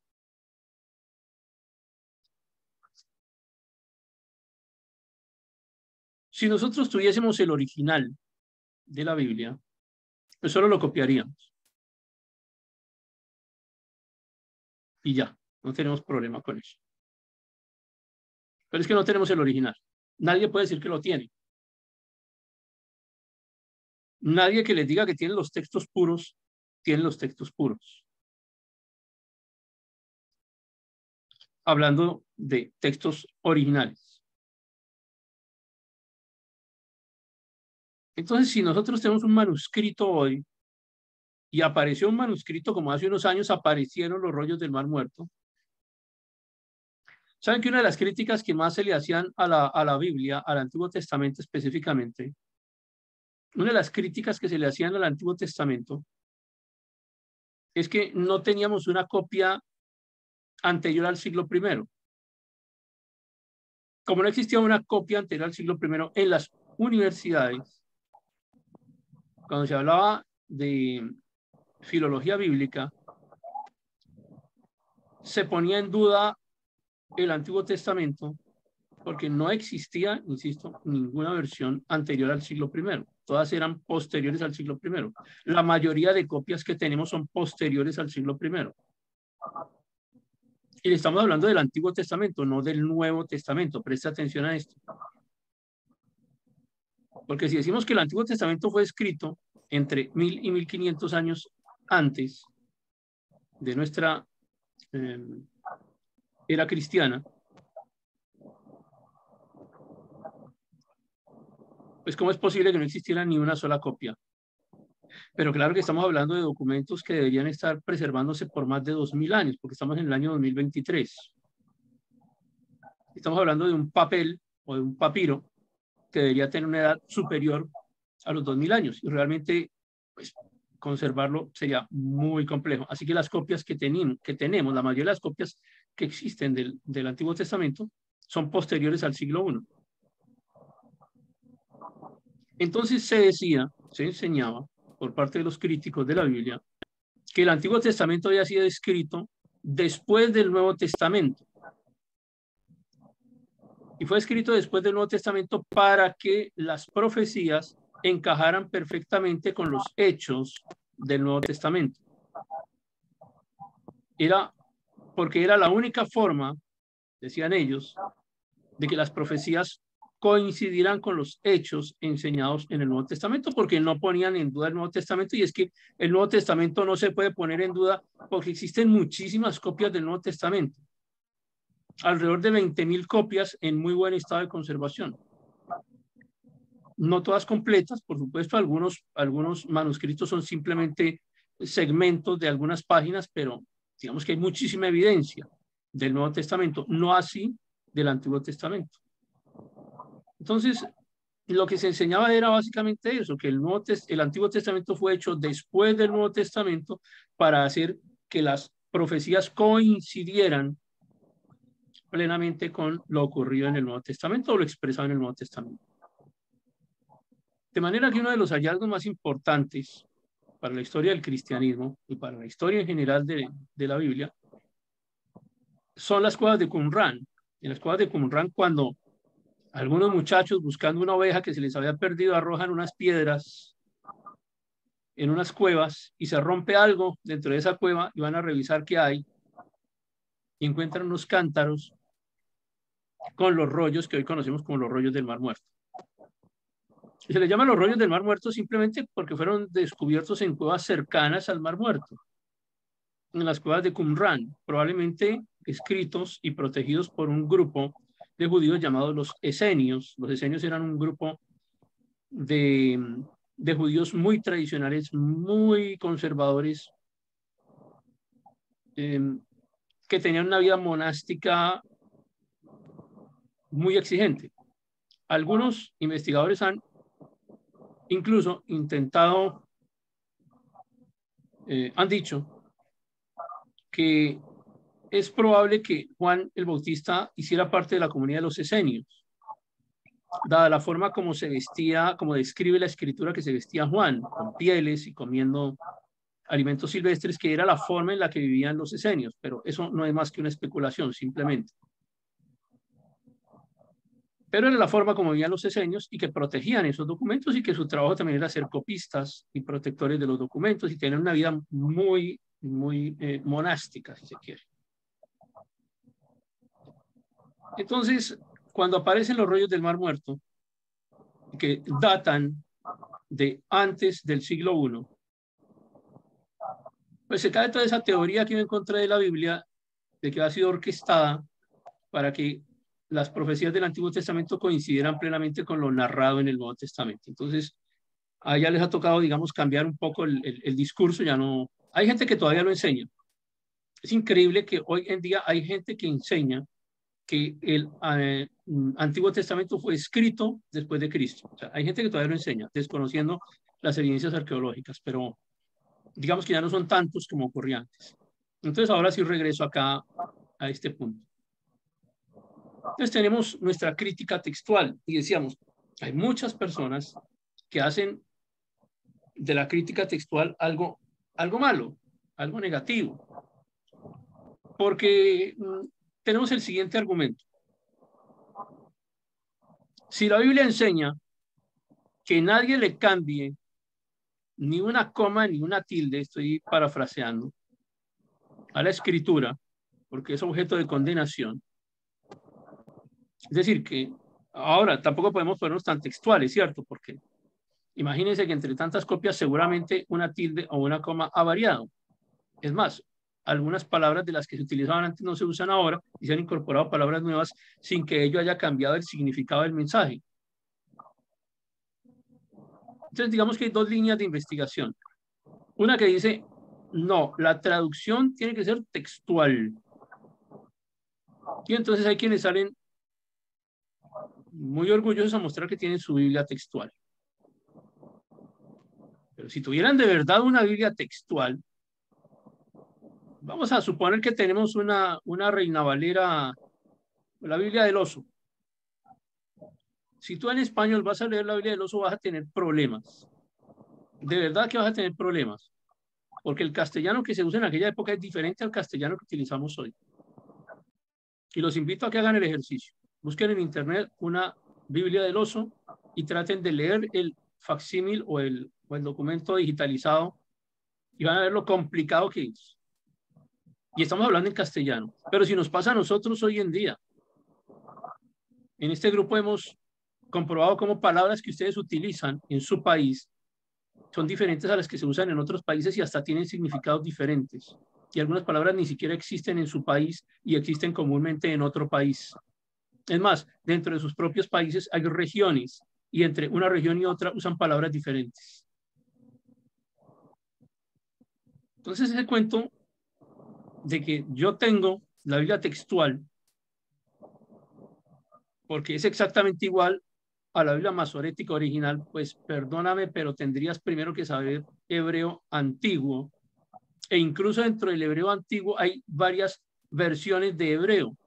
Porque el hebreo también evolucionó. Entonces, quien te lee en hebreo hoy en día, un poco más moderno, no es capaz de leerte en un hebreo antiguo. El, tema de la traducción literal o de la traducción textual es muy complejo. Si compraste una Biblia que te dice que es Biblia textual, pues te felicito, tenla ahí y estudiala. Pero tanto como que sea textual como el texto masorético, mm, realmente eh, no había que considerarlo. Entonces hay otra rama del estudio de la Biblia que te dice que no podemos traducir textualmente porque hay palabras que incluso han entrado en desuso y si las tratamos de traducir exactamente a nuestro idioma, o sea, hay palabras que existen, por ejemplo, en inglés y que no existen en español. La palabra no existe, no hay forma de expresar algunas cosas entre unos y otros idiomas. Hay palabras que existen en el español que no es posible traducirlas a otro idioma porque no existe una palabra equivalente. Ese es uno de los primeros problemas que tenemos con la traducción literal textual. Más que la traducción, la interpretación literal. No la estamos desechando, por supuesto, ni la vamos a menospreciar. Pero aquí mi trabajo es mostrarles a ustedes los diferentes las diferentes ramas de interpretación que existen y ya usted decide qué escoge. Pero hay otra rama de interpretación que dice, bueno, eh, no podemos traducir de forma textual porque es difícil hacer que cada palabra tenga un equivalente en otro idioma, incluso dentro de su propio idioma, que tenga un equivalente exacto con la actualización del idioma. Pero ¿y qué tal si, si mantenemos el mensaje? ¿Qué tal si hacemos que, aunque no se utilicen exactamente las mismas palabras que utilizaron los masoretas, sí podamos traer el mensaje? El mensaje adecuado, el mensaje actual,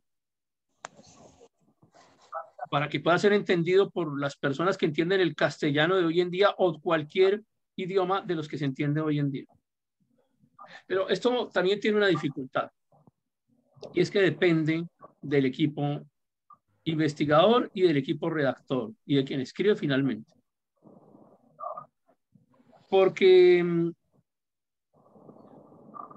al permitirse trasladar el mensaje, es decir, la esencia, la esencia del versículo, la esencia del texto, es probable que se actúe de mala fe y que algunos no traigan el mensaje de lo que quisieron decir los masoretas, sino que modifiquen el mensaje. Ese es un primer problema. Pero otro problema adicional que tenemos tanto para la una como para la otra corriente es la desaparición de textos completos entre una y otra versión. Pero ocurre muchísimo más en el Nuevo Testamento que en el Antiguo Testamento, increíblemente.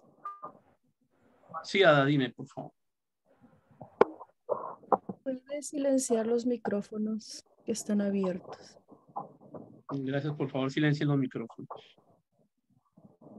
Entonces, ¿qué, qué ocurre acá? Déjeme, déjame un segundo, voy a intentar uh, silenciarlos desde aquí directamente. Bueno. Entonces, ¿qué está ocurriendo acá? Que tenemos un problema con la traducción literal, porque el lenguaje evolucionado no nos permite, en muchos casos, hacer una traducción estrictamente literal. De otra parte, tenemos el problema de la interpretación, que alguien equivocadamente, de buena fe o de mala fe, no traiga la esencia del mensaje de lo que se quiso decir en ese pasaje de la Biblia.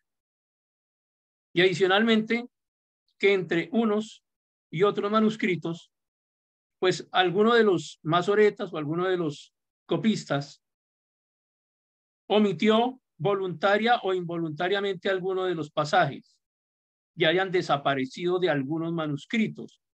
Y ahí es donde viene la crítica textual para tratar de recomponer el texto original. Ahora recuerden ustedes lo que mencionamos al comienzo de la clase cuando poníamos el ejemplo del libro y decíamos, intentaremos llegar al original del documento a partir de las copias. A esas copias es lo que le llamamos como variantes textuales. Entonces, esas variantes textuales van a intentar llevarnos hasta lo más cerca que podamos del texto original, entendiendo que el texto original no existe, sino que tenemos copias que seguramente son muy parecidas al texto original.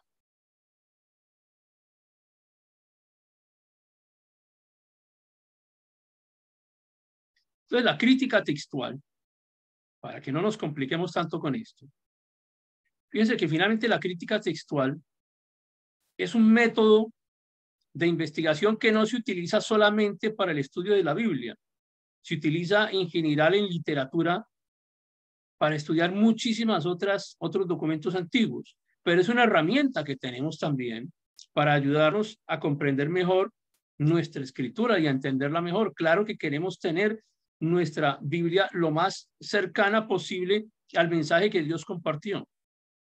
Pero como la crítica textual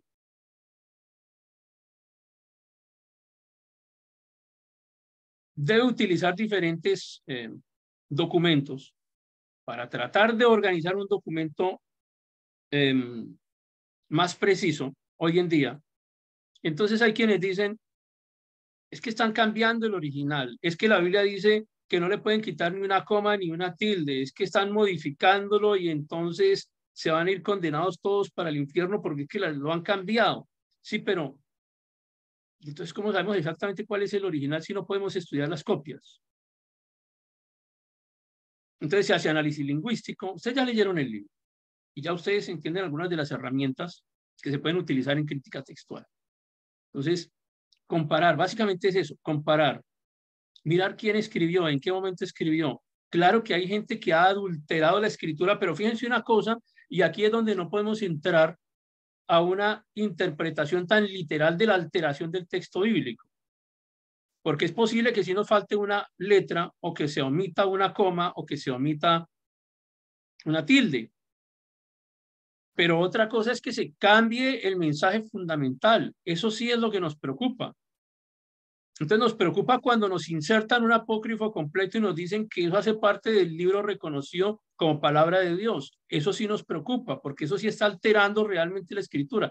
Pero que nos falte una coma que no afecte el contenido de un mensaje, o una letra que no afecte el contenido de un mensaje, pues no sería tan preocupante y ya le toca a cada uno de ustedes evaluar si realmente es digno de condenación alguien que hizo una copia y que por omisión no escribió una letra o incluso una palabra o incluso dejó de escribir un versículo sin que ello afecte la doctrina fundamental de la Biblia. Entonces, el objetivo del trabajo crítico textual básicamente es ese, permitirnos comprender mejor el documento a partir de las evidencias históricas que tenemos. Por eso cuando hablamos de crítica textual, también tenemos que hablar de que es un texto en construcción y esto le parece espantoso a muchas personas. Yo los comprendo, los entiendo realmente, porque no es posible que nosotros, a nosotros nos vengan a decir, y es que la Biblia está en construcción, ¿cómo así? Luego la palabra de Dios está en construcción. Si es que la Biblia ya fue hecha y hay gente que dice, no, es que mi documento, mi Biblia, la que yo tengo, si es el documento que viene de los documentos originales y si es el documento perfecto. Y entonces, tenemos otra copia que, a la que le sobra un, texto o un párrafo o un versículo y otro que no la contiene. Entonces tenemos que preguntarnos, por lo menos preguntarnos, ¿la Biblia que yo tengo realmente tiene un añadido o le quitaron realmente?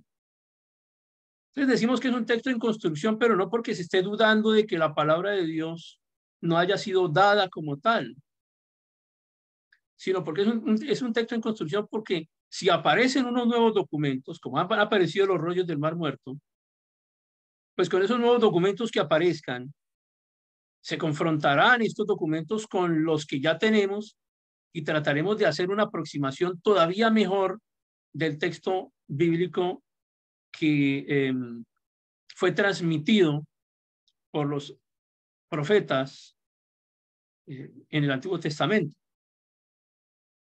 hay unos enfoques, entonces hay unos enfoques de la crítica textual que los mencionaré rápidamente. El eclecticismo, el schematics, la edición de textos de copia y las técnicas cuantitativas. Y el eclecticismo no es nada más que consultar todos los testigos que tenemos del documento. ¿Cuáles testigos? Pues las copias. Si usted va a narrar un evento de su vida personal, a veces no sé si a usted ha escuchado o usted ha mencionado, es que yo te estoy contando esta historia y si no me crees, pregúntale a mi mamá, pregúntale a mi vecino, pregúntale a X para confirmar que es cierto. Esa frase la ha escuchado uno frecuentemente. O sea, testigos que corroboren lo que estamos diciendo. Bueno, acá en el eclecticismo también existen testigos. ¿Cuáles son esos testigos? Pues los documentos. Los documentos que nos dicen si lo que dice otro documento es correcto o no. Ahora, hay líneas de, documentos, es decir, se pueden evidenciar en, la escritura, en la transmisión del texto bíblico, que hay unas líneas más, unas líneas de documentos, unos grupos de documentos parecidos entre sí. Entonces hay grupos de documentos que se parecen entre ellos, digamos que son como grupos de testigos. Estos grupos de testigos los clasificamos en evidencia externa y en evidencia interna. ¿Cuál es la evidencia externa? Pues la evidencia externa es lo que está alrededor del documento, no lo que está inserto del documento, no lo que el documento dice, sino lo que podemos ver del documento. Por ejemplo, no lo que está escrito en el códex, no lo que está escrito en el papiro, sino miramos qué fecha tiene ese papiro. Lo datamos por carbono 14, cuándo fue creado, qué tipo de fuente utilizaban, cuál tinta utilizaban, en qué edad o en qué fecha se utilizaban esos tipos de fuentes. Esos materiales que se utilizaron allí estaban, existían esos materiales, por ejemplo, la tinta que utilizamos hoy en nuestros, ¿cómo se llamará? Bolígrafos, lapiceros, esferos, como le digan en cada país. La tinta que utilizamos nosotros hoy no es la misma que se utilizaba hace 100 años. Es otra clase de tinta diferente. Y a través de la tinta puede datarse un documento. ¿En qué rango de, de, de siglo pudo haberse creado el documento? A eso le llamamos evidencia externa. Ahora, se supone que si el documento es más antiguo, tiene menos errores, pero no siempre es cierto. Se supone que si tenemos un documento con más testigos, pues es más probable que lo que diga sea, sea correcto, porque tenemos más evidencia. También entonces tenemos unas evidencias internas. Lo que dice el propio texto, las palabras que se utilizaron, la fuente, eh, el escritor, escribió unas palabras de una forma específica. Entonces, si usted va a leer, insisto con el ejemplo, si usted va a leer hoy la Biblia del oso, tiene unas palabras que solamente se utilizaban en aquella época y que ya no se utilizan hoy en día. Conjugaciones verbales que no se utilizan hoy en día y que se usaban en aquella época. Entonces nos habla de evidencia interna del documento. Y existen algunos cánones o normas, y quiero, quiero hacer una aclaración acá. Cuando hablamos de cánones de la crítica textual, no estamos hablando del canon bíblico, no estamos hablando del canon del Antiguo Testamento, del canon del Nuevo Testamento, no. Aquí cuando hablamos de cánones de la crítica textual, estamos hablando de normas mediante las cuales se rige la crítica textual. Y les he mencionado apenas algunas allí como ejemplo. Por ejemplo, que la lectura más corta es mejor, que es más probable que si alguien hizo una copia haya agregado cosas en cambio de eliminarle. Entonces, si encontramos un versículo que es más largo en algunas versiones y en otros es más corto, esta norma o este canon nos dice que lo más probable es que el texto original sea el más corto, no el más largo, porque era más probable que los copistas agregaran cosas en cambio de eliminar. Pero siempre ocurre, porque encontramos entonces que algún escriba simplemente pudo omitir de forma voluntaria o involuntaria algún versículo. Entonces, el canon tiene que ser ponderado en ese sentido. Algunos otros nos dicen que si tenemos muchos testigos, es decir, que hay muchas copias similares, es porque esa es la versión más probable, pero tampoco es cierto. porque aquí tenemos que hablar de la calidad de la copia, no de la cantidad de la copia. O si no, no existiría lo que pasa en muchos países hoy en día, que dicen tener unos malos gobiernos, pero la mayoría votó por ese gobierno. Entonces, a veces las mayorías no siempre tienen la razón. Y solamente pongo un ejemplo a nivel de gobierno dentro de los muchísimos que pudiésemos eh, tener acá. Entonces, no siempre la mayor cantidad de copias implica que sean de buena calidad o que tengan el texto correcto o el texto normativo. Dentro de esas limitaciones de la crítica textual también está la selección de los testigos. ¿Cuáles testigos estamos utilizando? Y supongamos que vamos a juicio y usted tiene unos testigos, pero son testigos que ni estuvieron de forma presencial allí, realmente no presenciaron los hechos, no están enterados de cómo ocurrieron las cosas dentro del evento que se está juzgando, pero sin embargo los llevaron como testigos. O sea, son testigos pero malos. Entonces es una de las limitaciones de la crítica textual, que no siempre los testigos son objetivos, no siempre los testigos son confiables. Cuando hablamos de la estematics o de la estematología, estamos hablando de estas líneas que vemos acá, una, una, una línea que parece como una espina de pescado que nos muestra los grupos de manuscritos que puedan existir, líneas de manuscritos, grupos de manuscritos. Entonces es probable que un grupo de manuscritos contenga los mismos errores. Casi que cuando se encuentra un manuscrito y tiene un error, puede uno llevarlo hasta uno de esos grupos de eh, testigos, porque, mm, bueno, hay, digamos, derivación. De un testigo principal se pueden derivar otros testigos. Ahora, hay unas limitaciones del método, y es que es probable que un autor haya considerado cambiar lo que escribió en un momento determinado como el libro con el cual comenzamos hablando esta clase. Ahora, de pronto, para la segunda versión decidimos no incluir unas frases, no incluir unas palabras, no incluir unos párrafos o no incluir un capítulo completo y lo hacemos voluntariamente y tenemos una segunda versión, pero se hizo de forma voluntaria. Es probable que en algunos casos, de forma voluntaria, algunos copistas hayan hecho lo mismo. Luego, entonces terminamos entendiendo ya llegando acá al, concepto de edición de un texto copia, un texto crítico tiene un texto base. Y ese texto base, digamos que es el texto fundamental sobre el cual estamos trabajando. Y si tengo dudas con respecto a otro documento base, entonces, o contra otro testigo, me guiaré por lo que dice mi documento base. Pero no solo eso, sino que si los testigos no son tan confiables, entonces prefiero quedarme con lo que dice el documento base. Y luego corregimos. Corregimos es escribimos, reescribimos. A eso se llaman enmiendas. Entonces una enmienda es una corrección que se hace a un texto base. A veces no se hacen correcciones al texto base porque los testigos no son tan claros o no son tan buenos. Y hay algunas técnicas que llamamos técnicas cuantitativas, porque ahora estamos en la era de la tecnología. Entonces ya podemos utilizar la estadística textual, el análisis de concordancias y la filología computacional. Y está ese otro concepto. Ahora les doy unos ejemplos de técnicas cuantitativas. Ustedes leerán esta diapositiva y les daré unos ejemplos más adelante y algunos software para que ustedes por lo menos los vean. Y otra, otra expresión que van a escuchar con frecuencia durante el transcurso de lo que queda de este taller, que es el aparato crítico. Y el aparato crítico es esto. El aparato crítico son las revisiones, lo que nos dice de por qué se hizo un cambio. Si yo tengo mi texto, mi texto base, y le hago una corrección, yo ahí al margen, abajo o al final del documento, dejo escrito por qué hice esa corrección, porque quité ese versículo, porque cambié esa palabra, porque eh, este versículo aparece y en otras versiones no aparece, y dejo una explicación del por qué ocurre eso.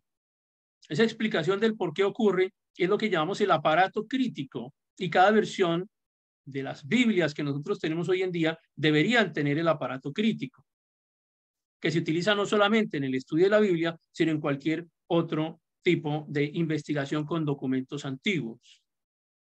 Entonces, el aparato crítico son las fuentes y son las explicaciones de por qué se hicieron los cambios, de por qué se utilizó una frase parafraseada o de por qué se mantiene un texto que en otras versiones no existe. Esas explicaciones son el aparato crítico. Por ejemplo, con el libro que hemos venido hablando desde el comienzo de la clase, la versión del libro que tiene su primera versión, ahora va a tener una segunda versión. Y en la segunda versión va a tener un aparato crítico, es decir, va a decir quiénes encontraron unos cambios, qué cambios se hicieron, de qué forma se hicieron, por qué se incluyeron, por qué razón se hicieron las modificaciones a la segunda versión. Ese es el aparato crítico.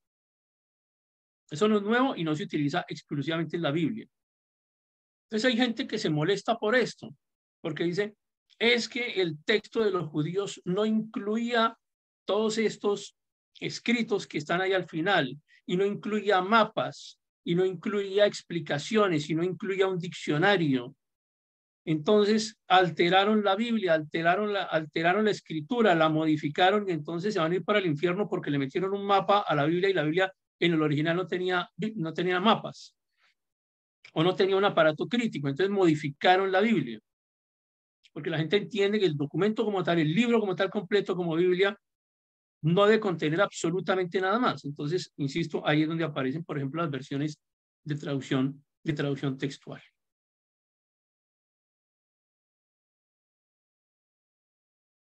Un resumen de lo que es el texto crítico,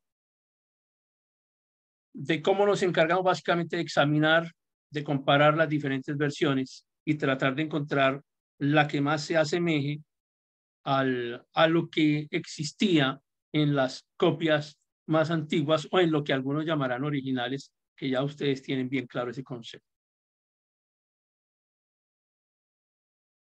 Hay muchas copias, hay muchas variantes textuales en diferentes idiomas. Y el objetivo realmente eh, no debería, nuestro objetivo, em, ser el de cuestionar las bases fundamentales del cristianismo, porque esas no se han alterado en ninguna de las, de las versiones o de los textos eh, y variantes que, que, su, que surgen de ciertas líneas. Pero yo sí quiero decirles que hay algunas versiones bíblicas hoy en día que sí atentan contra estructuras fundamentales de, la Biblia y atentan directamente contra la deidad de Cristo. Está muy de moda ese concepto de traer a Cristo a hacerlo más terrenal, hacerlo menos, em, hacerlo más hombre y menos hijo de Dios. Y hay varias versiones bíblicas hoy en día que apoyan ese, ese concepto. Por eso nos ha interesado ahora tratar de descubrir los textos premasoréticos. Entonces, los masoretas destruyeron los documentos que ellos utilizaron como base para hacer el texto masorético. Ahora nos interesa conocer los textos premasoréticos para ver ¿Qué tan confiables son los textos masoréticos con respecto a lo que los masoretas utilizaron? Se supone que deben ser confiables y deberíamos confiar en el texto masorético. De hecho, confiamos en el texto masorético sin los agregados deuterocanónicos. Les dejo finalmente acá un par de cuadros de resumen para cuando estén estudiando sobre las características de los textos y el trabajo de los masoretas y algunas de las características de estudio em, que se utilizan en crítica, algunas de las características de la crítica textual. Les he subrayado este concepto de la cohesión temática, porque sí es importante dentro de la crítica textual todo lo demás, la crítica interna, la crítica externa y todo lo que hemos conversado esta noche. Pero uno de los elementos que debe ser fundamentales para hacer una crítica textual bien hecha es la cohesión temática examinar el texto para determinar si el tema o la narrativa se mantiene coherente a lo largo del texto. Entonces, cuando nosotros leemos nuestro canon bíblico cristiano y de pronto nos encontramos con la interrupción de algún apócrifo o de algún texto añadido o de algún texto que han quitado, cuando usted conoce el texto, usted se da cuenta que hay una dificultad en la cohesión temática. Es decir, que no es coherente a lo largo del texto. Y esa es realmente para ustedes la primera señal de alerta.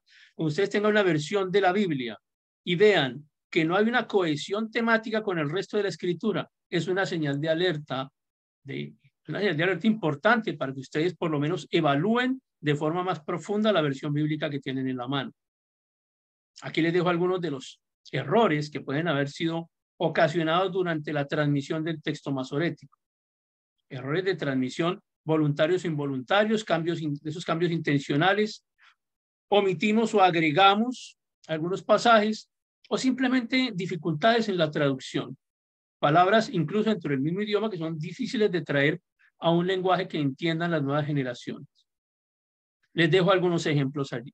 Algunos errores de transmisión, algunas omisiones y adiciones, y algunos cambios que se consideran que son intencionales. Se consideran, no podemos de todas maneras afirmarlo porque no tenemos a la persona que hizo el cambio para preguntarle si es intencional si realmente lo hizo o no, pero se cree que lo son. Esto es importante acá y me, déjenme, les, les comparto esto, sé que ya me pasé un poquito del, del tiempo y sé que están cansados, pero eh, déjenme les comparto esto. Cambios que consideran que son intencionales. En el libro de Isaías, capítulo 7, verso 14, el texto masorético dice, por tanto el Señor mismo os dará señal. Y aquí una virgen concebirá y dará a luz un hijo y lo llamará Emanuel. Y algunos consideran que la palabra virgen se cambió intencionalmente en el texto masorético para enfatizar la idea de que el nacimiento era milagroso porque consideran que la palabra original no era virgen, sino una palabra que se lee como alma, que significa mujer joven.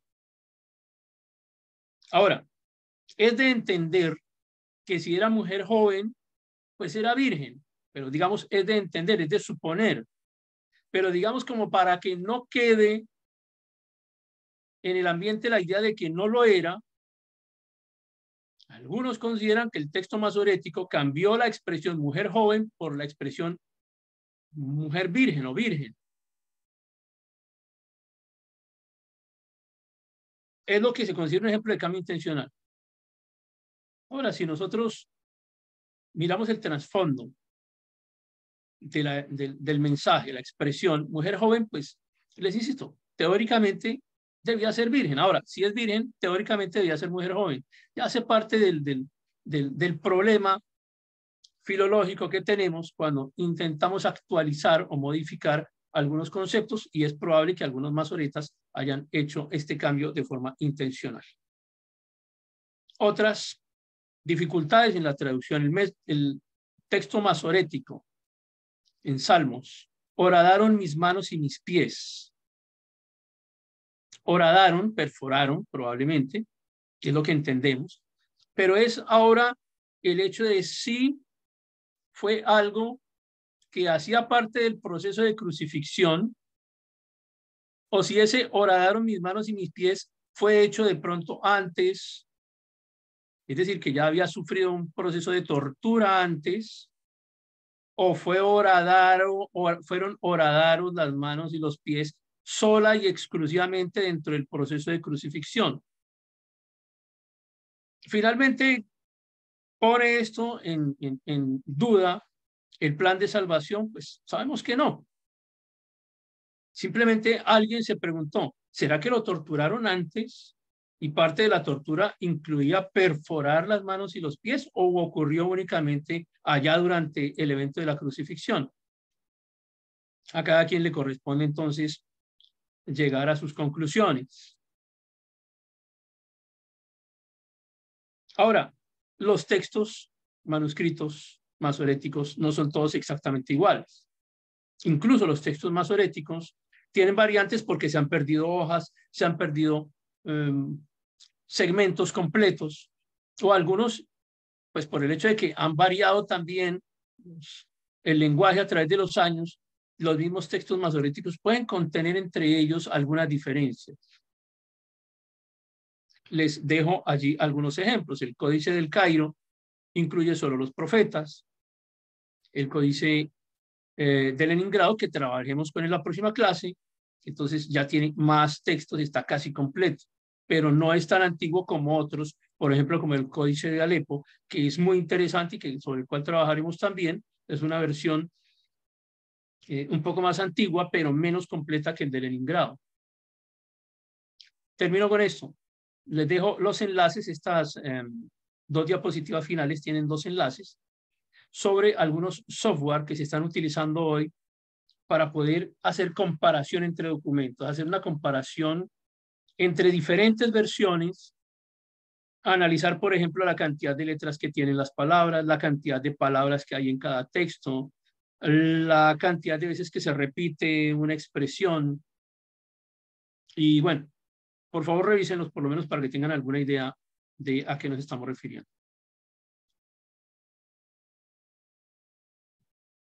No quiero finalizar hoy sin que nos quede un poco la,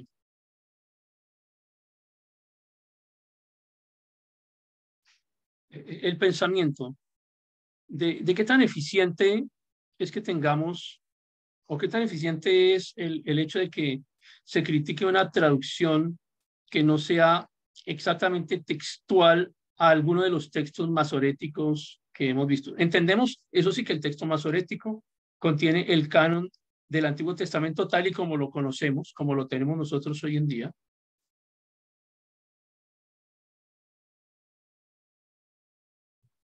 Pero sería eficiente, realmente nos preguntamos, ¿sería eficiente?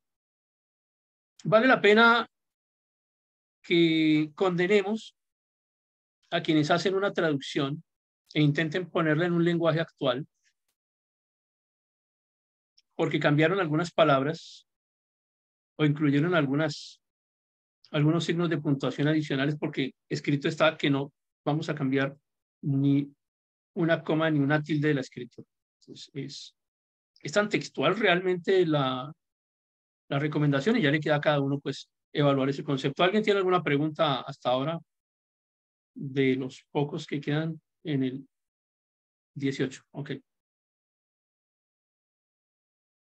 Jaime, tienes una pregunta. Sí, profesor, ¿qué tal?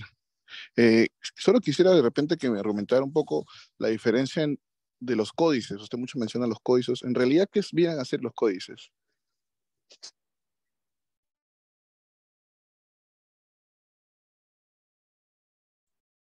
Ok, Jaime. Esto, permítame un segundo. Déjeme vuelvo a proyectar acá.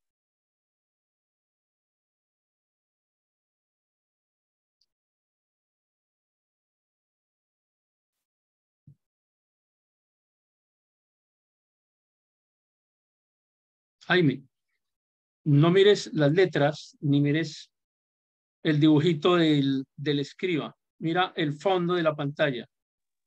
Ok, profesor. Ok, lo estoy viendo. Eso es un códice. Es un manuscrito hecho en pergamino, hecho en papel, en cualquier otro material antiguo. Entonces le llamamos, no solamente en, en, en estudio de la Biblia, sino en general, en documentos antiguos, encontrarás que hay códices, por ejemplo, de obras em, de la Eneida, por ejemplo. Y no es un códice bíblico, pero es un códice, o un códice, o un códex, o un manuscrito. Entonces, cuando hablamos de un códex, hablamos de un manuscrito antiguo, que se ve como esto. Casi siempre se ven como estos. Hay una historia interesante con respecto a los manuscritos del Mar Muerto si entendemos que un códex es un manuscrito, y estamos hablando de los manuscritos del Mar Muerto, hay una historia interesante y es que estaban tan rígidos, los pergaminos estaban tan rígidos que cuando intentaban desenvolverlos, se rompían y se dañaban y no, no encontraban cómo resolver ese problema. Entonces uno de los investigadores cuenta que, que un día en su oficina eh, quiso hacer un café y, dejó prendida la, estufa con el, agua para el café y se fue y se ocupó haciendo otra cosa. Cuando regresó, el recipiente en el que tenía el agua había hervido tanto que se había evaporado y ese vapor cayó sobre uno de los sobre uno de los códex, sobre los códex, sobre los pergaminos, sobre los manuscritos que tenían allí en la mesa de trabajo y al humedecerse se había desdoblado un poco. Entonces descubrieron que a través de ese proceso de la evaporación de algún líquido, lograban desenvolver el códex, ponerlo en una especie de hojas, entonces lo, convirtieron en hojas y les pusieron mm, vidrios por debajo, por encima, y de esa manera los protegieron para que no se siguieran desintegrando. Pero fue un método que descubrieron, digamos, al azar para poder desenvolver el rollo, porque el rollo, o sea, el códex, el códice, el código o el rollo estaba en, envuelto, enrollado dentro de unos cántaros, dentro de unas vasijas de barro, y cuando intentaban desenvolverlos, pues se rompían y se dañaba el material. Entonces, finalmente, el códex es eso. El códex es cualquier manuscrito antiguo. ¿Cuántos códex hay? Pues muchísimos. Les compartiré, yo creo que en unos 15 días, está en proceso de revisión también, un libro que habla sobre los principales códex que tenemos eh, relacionados con la Biblia. Entonces trataré de compartírselos. Uno de ellos es, por ejemplo, el, el Códex Alejandrino, el Códex de Leningrado, el Códex Vaticano, del cual hablaremos en su momento. O sea, son rollos, son copias de la Biblia, específicamente para nuestro curso. Son copias de la Biblia que están, em, que han sido encontradas y que se utilizan para comparar con otras copias. A eso nos referimos por un códex. ¿Sí quedó claro ese concepto, Jaime? Sí, sí, profesor, muchas gracias. Y una preguntita así, rapidita. Eh, el crítico textual hay un, un, doctor, Daniel Wallace. Yo no sé cómo usted lo mira él. Yo últimamente me lo recomendaron para ver un poco de sus materiales. Bueno, compártelo, por favor. Seguimos revisando. Ah, ok. Te en el grupo lo comparto. Perfecto, gracias, Jaime. Mm, yo siempre les, les he insistido que la Biblia tienen que estudiarla de forma crítica. Alguna vez en este grupo, lamentablemente, antes de comenzar la primera clase, se presentó un debate un poco incómodo sobre si iba a haber debate. O sea, se presentó un debate sobre si iba a haber debate. Pues sí, tiene que haber debate. O sea, yo aquí lo que menos quiero es que ustedes vengan a creerme todo lo que yo les digo sin que lo cuestionen, porque si les he sugerido siempre que cuestionen la Biblia, porque la, la escritura misma nos enseña que la cuestionemos, que la indaguemos, que la revisemos, pues ¿por qué no preguntarnos sobre realmente lo que está ocurriendo con los investigadores, con quienes hacen los, con quienes hacen los estudios de los códex? Y esto nos lleva a grandes retos.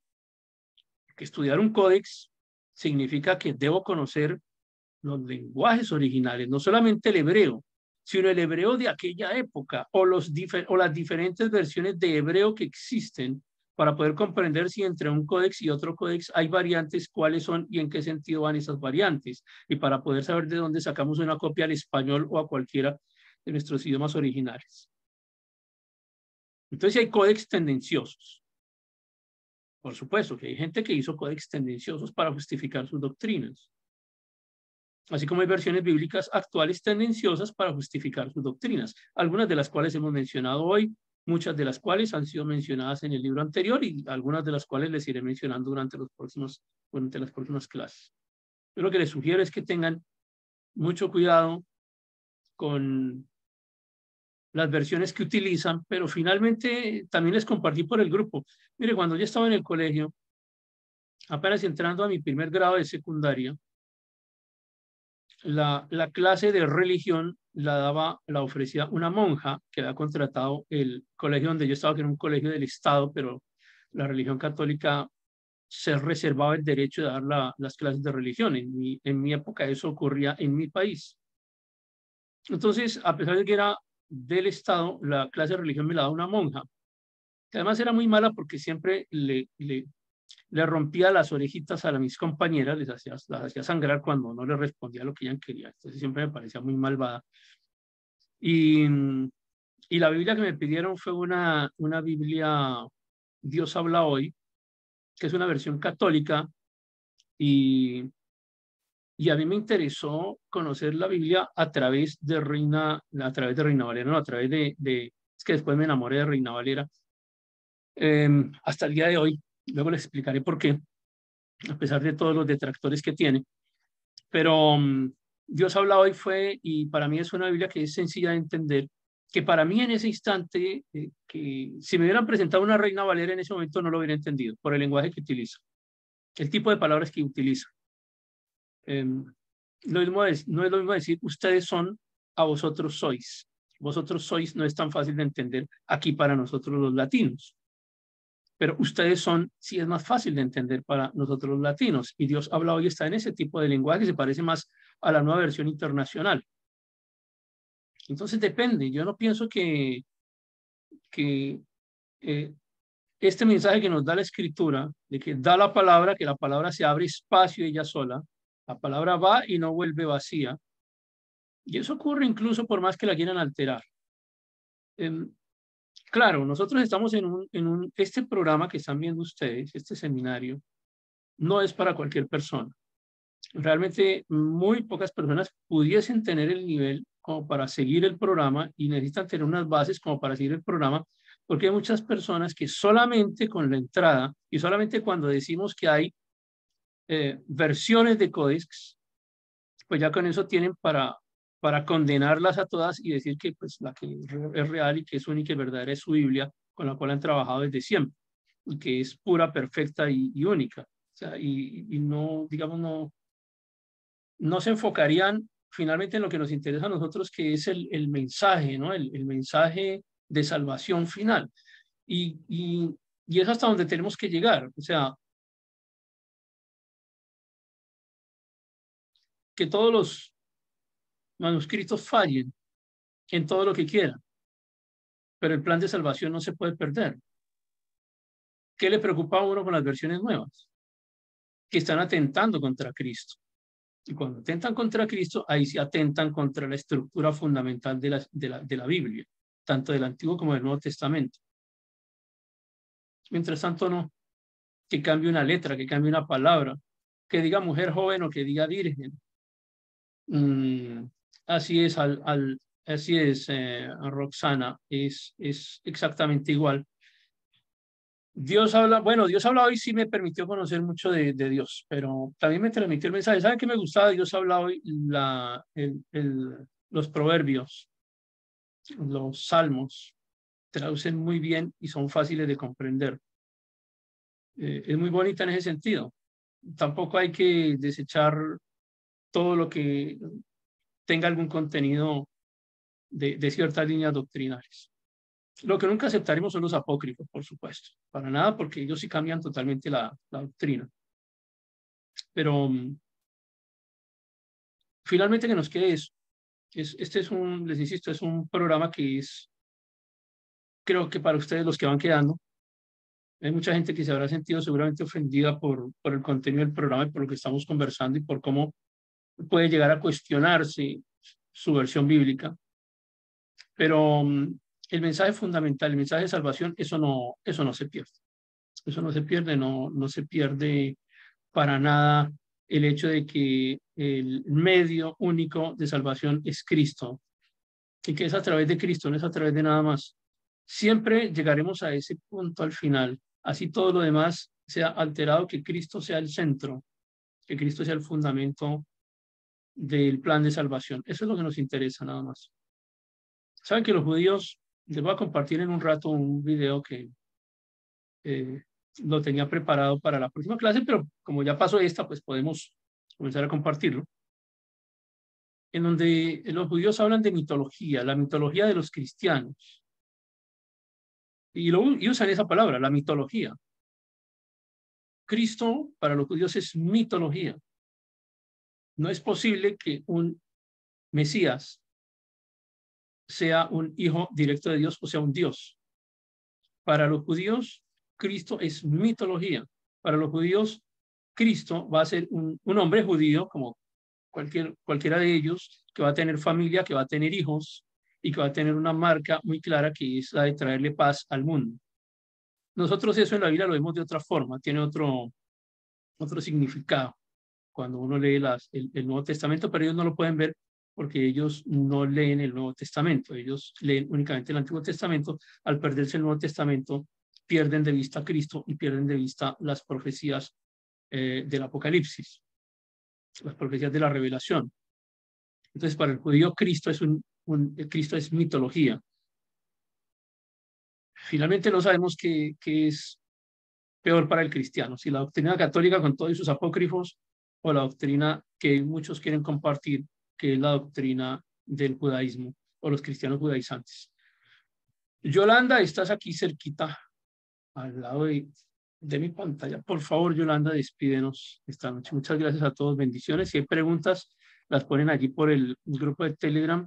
Me disculpan si no les atendí hoy, a veces no les atendí en la mañana todos sus mensajes, eh, tenía algo de complicación, así que lo leí tardecito y a veces algunas preguntas quedaron sin responder, pero intentaré responderlas todas. Yolanda, por favor. Sí, gracias, profe. Amén.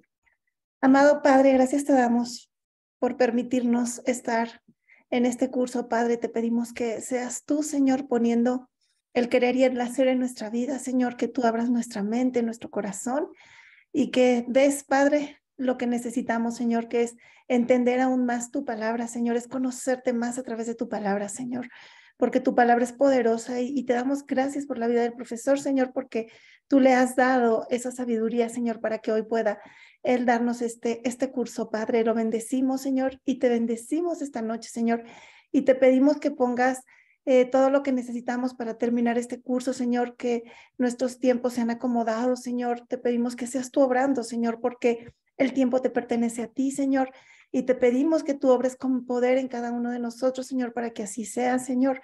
Gracias te damos esta noche por la paz que sobrepasa todo entendimiento en nuestros corazones, Señor, para que podamos tener un descanso y te damos gracias por todo. Bendecimos esta plataforma y bendecimos al profesor y que sea esto para, para que se enriquezca más nuestra vida espiritual, Señor. Gracias te damos en el nombre, que es sobre todo nombre, Señor, en el nombre de Cristo Jesús. Amén y amén. Amén. Bendiciones para todos. Que descansen. Bendiciones. Buenas noches, profesor. Dios lo bendiga. Hasta pronto.